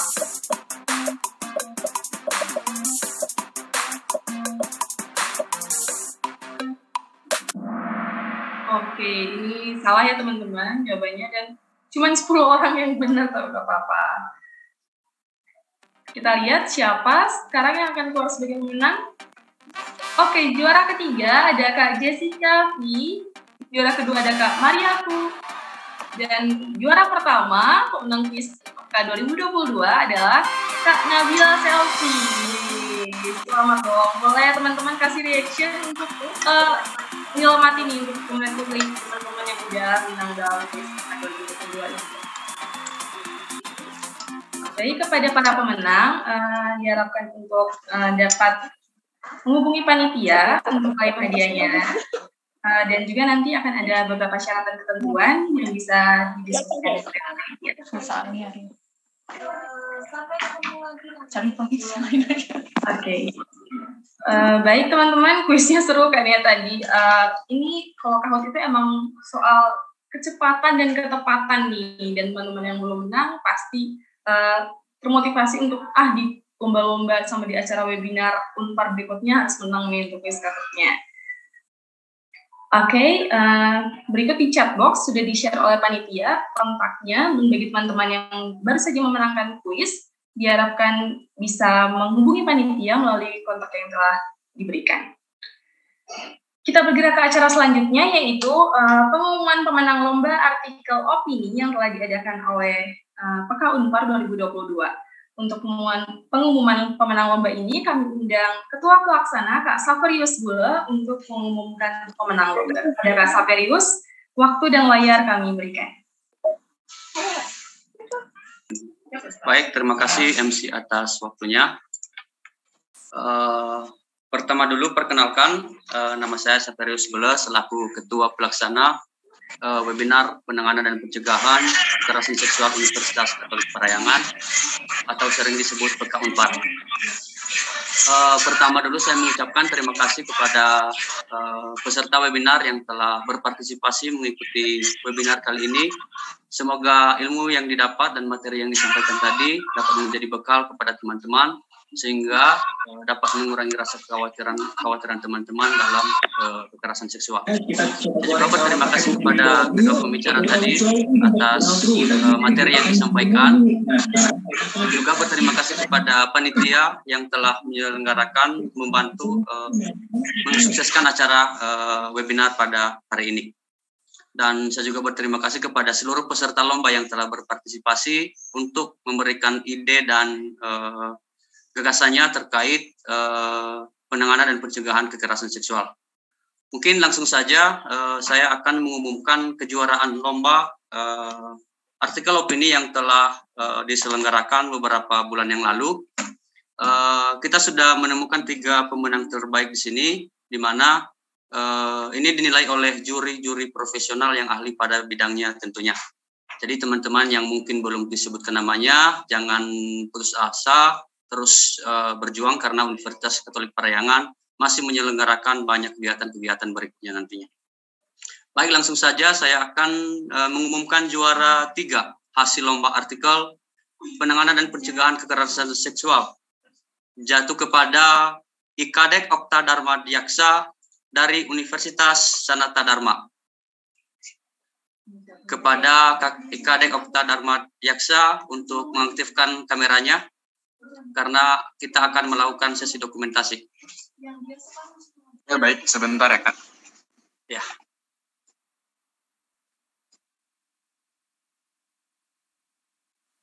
ya kepada saudara kita IKD Okta untuk on cam dulu.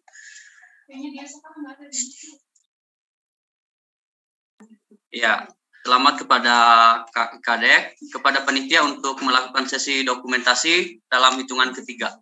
Satu, dua, tiga. Sekali lagi, satu, dua, tiga.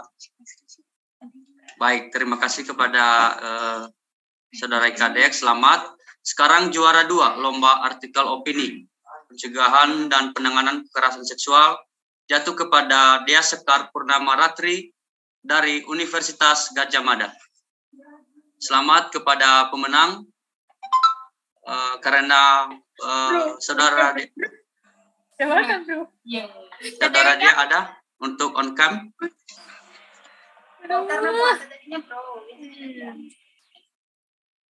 Wakil Keberhasilan Indonesia. Halo, apakah saudara Dia Sekar Purnama Ratri ada di Zoom? Oke, karena namanya tidak uh, ada, mungkin langsung aja dokumentasi kepada panitia satu, dua, tiga. Kemudian juara satu, lomba artikel opini pencegahan dan penanganan kekerasan seksual jatuh kepada Iputu Arya Aditya Utama dari Universitas Jenderal Sudirman. Selamat kepada Kak Iputu Arya Aditya. Apakah ada di Zoom untuk mengaktifkan kameranya? Halo, halo, Kak. Ya, boleh aktifin kameranya, Kak. Oke. Okay. Oke, selamat ya Kak. Untuk panitia untuk melakukan sesi dokumentasi dalam hitungan ketiga. Satu, dua, tiga. Sekali lagi, satu, dua, tiga. Baik, uh, selamat kepada ketiga pemenang uh, lomba yang telah uh, terpilih, yang telah dinilai oleh juri-juri kita. Kepada yang belum menang, diharapkan upaya tetap semangat, karena ini hanya bagian dari proses. Dan masih banyak lagi kegiatan-kegiatan yang akan dilakukan oleh Universitas Katolik Parayangan ke depannya. Teman-teman boleh pantau IG kemahasiswaan UNPAR, dan salah satu kegiatan yang akan ada nanti ke depannya yaitu ada kegiatan Iklo Unpar. Boleh teman-teman melihat nanti Instagram Iklo Unpar, di situ ada lomba podcast juga nanti dan akan ada webinar nanti di bulan berikutnya. Mungkin itu saja dari saya. Uh, terima kasih teman-teman dan saya kembalikan kepada MC.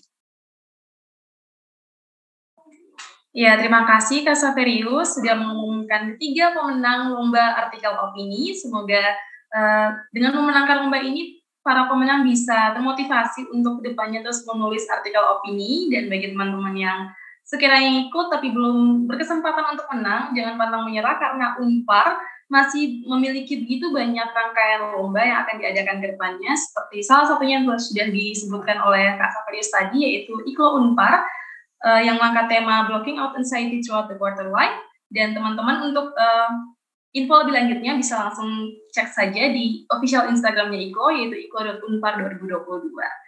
Baik, eh, teman-teman, uh, sekarang kita sudah berada di penghujung acara webinar PK 2022. Jika tadi kita memulai acara kita dengan doa, anggap baiknya jika kita juga menutupnya dengan doa, maka dari itu kami kembali mengundang Kak Santrius Gula untuk memimpin doa penutup kita. Baik, terima kasih MC atas waktunya. Baik teman-teman, untuk mengakhiri acara webinar ini, alangkah baiknya kita menyerahkan jiwa raga kita ke dalam tangan Tuhan. Saya akan memimpin dalam agama Kristen Protestan, yang lain menyesuaikan. Mari kita menundukkan kepala, mari kita bersatu dalam doa. Pujian dan hormat kembali kami hanturkan di hadapanmu pada hari ini Bapa, di mana Engkau telah memberkati kami, memberikan kami kesempatan untuk mengikuti webinar lewat Zoom pada hari ini. Engkau telah bersama-sama dengan kami Bapa, Engkau telah menjauhkan kami dari segala mara bahaya. Itu semua hanya berkat karena kasihmu yang terus engkau limpahkan dalam kehidupan kami. Terima kasih Bapak, semoga materi yang disampaikan oleh kedua pembicara tadi dapat menjadi bekal dalam kehidupan kami Bapak, sehingga kami selalu bersuka cita dalam memuliakan Engkau di atas kerajaan surga. Sebentar lagi Bapak, kami akan berpisah-pisah di virtual Zoom ini, berkatilah kami Bapak setiap aktivitas kami yang akan kami laksanakan setelah ini, sehingga Engkau selalu memberkati dan melindungi kami Bapak, sehingga hanya dalam tanganmu kami menyerahkan jiwa dan raga kami sehingga kami selalu bersuka cita dan memuliakan Engkau di atas kerajaan surga. Terima kasih Bapa, inilah doa dan permohonan anakmu yang tak sempurna ini, hanya selanaskan melalui anakmu Yesus Kristus, Juru Selamat dan penebus dosa-dosa kami. Amin. Saya kembalikan kepada MC. Oke, terima kasih Kak Saperius. Teman-teman, kita telah berada di akhir acara webinar PK 2022 dan seperti yang telah dihimbau di awal acara tadi bahwa semua peserta webinar PK akan memperoleh sertifikat. Dan teman-teman diharapkan untuk bisa mengisi link absensi yang telah di-share oleh panitia di chat box. Dan teman-teman yang telah bergabung dalam uh, WhatsApp grup webinar PK, di situ panitia akan men-share uh, link Google Drive berisi sertifikat teman-teman semuanya. Maka dari itu kami menghimbau agar teman-teman uh, tidak meninggalkan grup terlebih dahulu sebelum sertifikat berisi sebelum link Google Drive di sertifikat kalian kami distribusikan. Terima kasih atas partisipasi dan perhatian teman-teman semuanya. Sampai jumpa dalam acara lomba dan webinar yang diadakan oleh Universitas Katolik Parahyangan berikutnya. Wassalamualaikum warahmatullahi wabarakatuh. Om Swastiastu, Namo Buddhaya, Salam Kebajikan.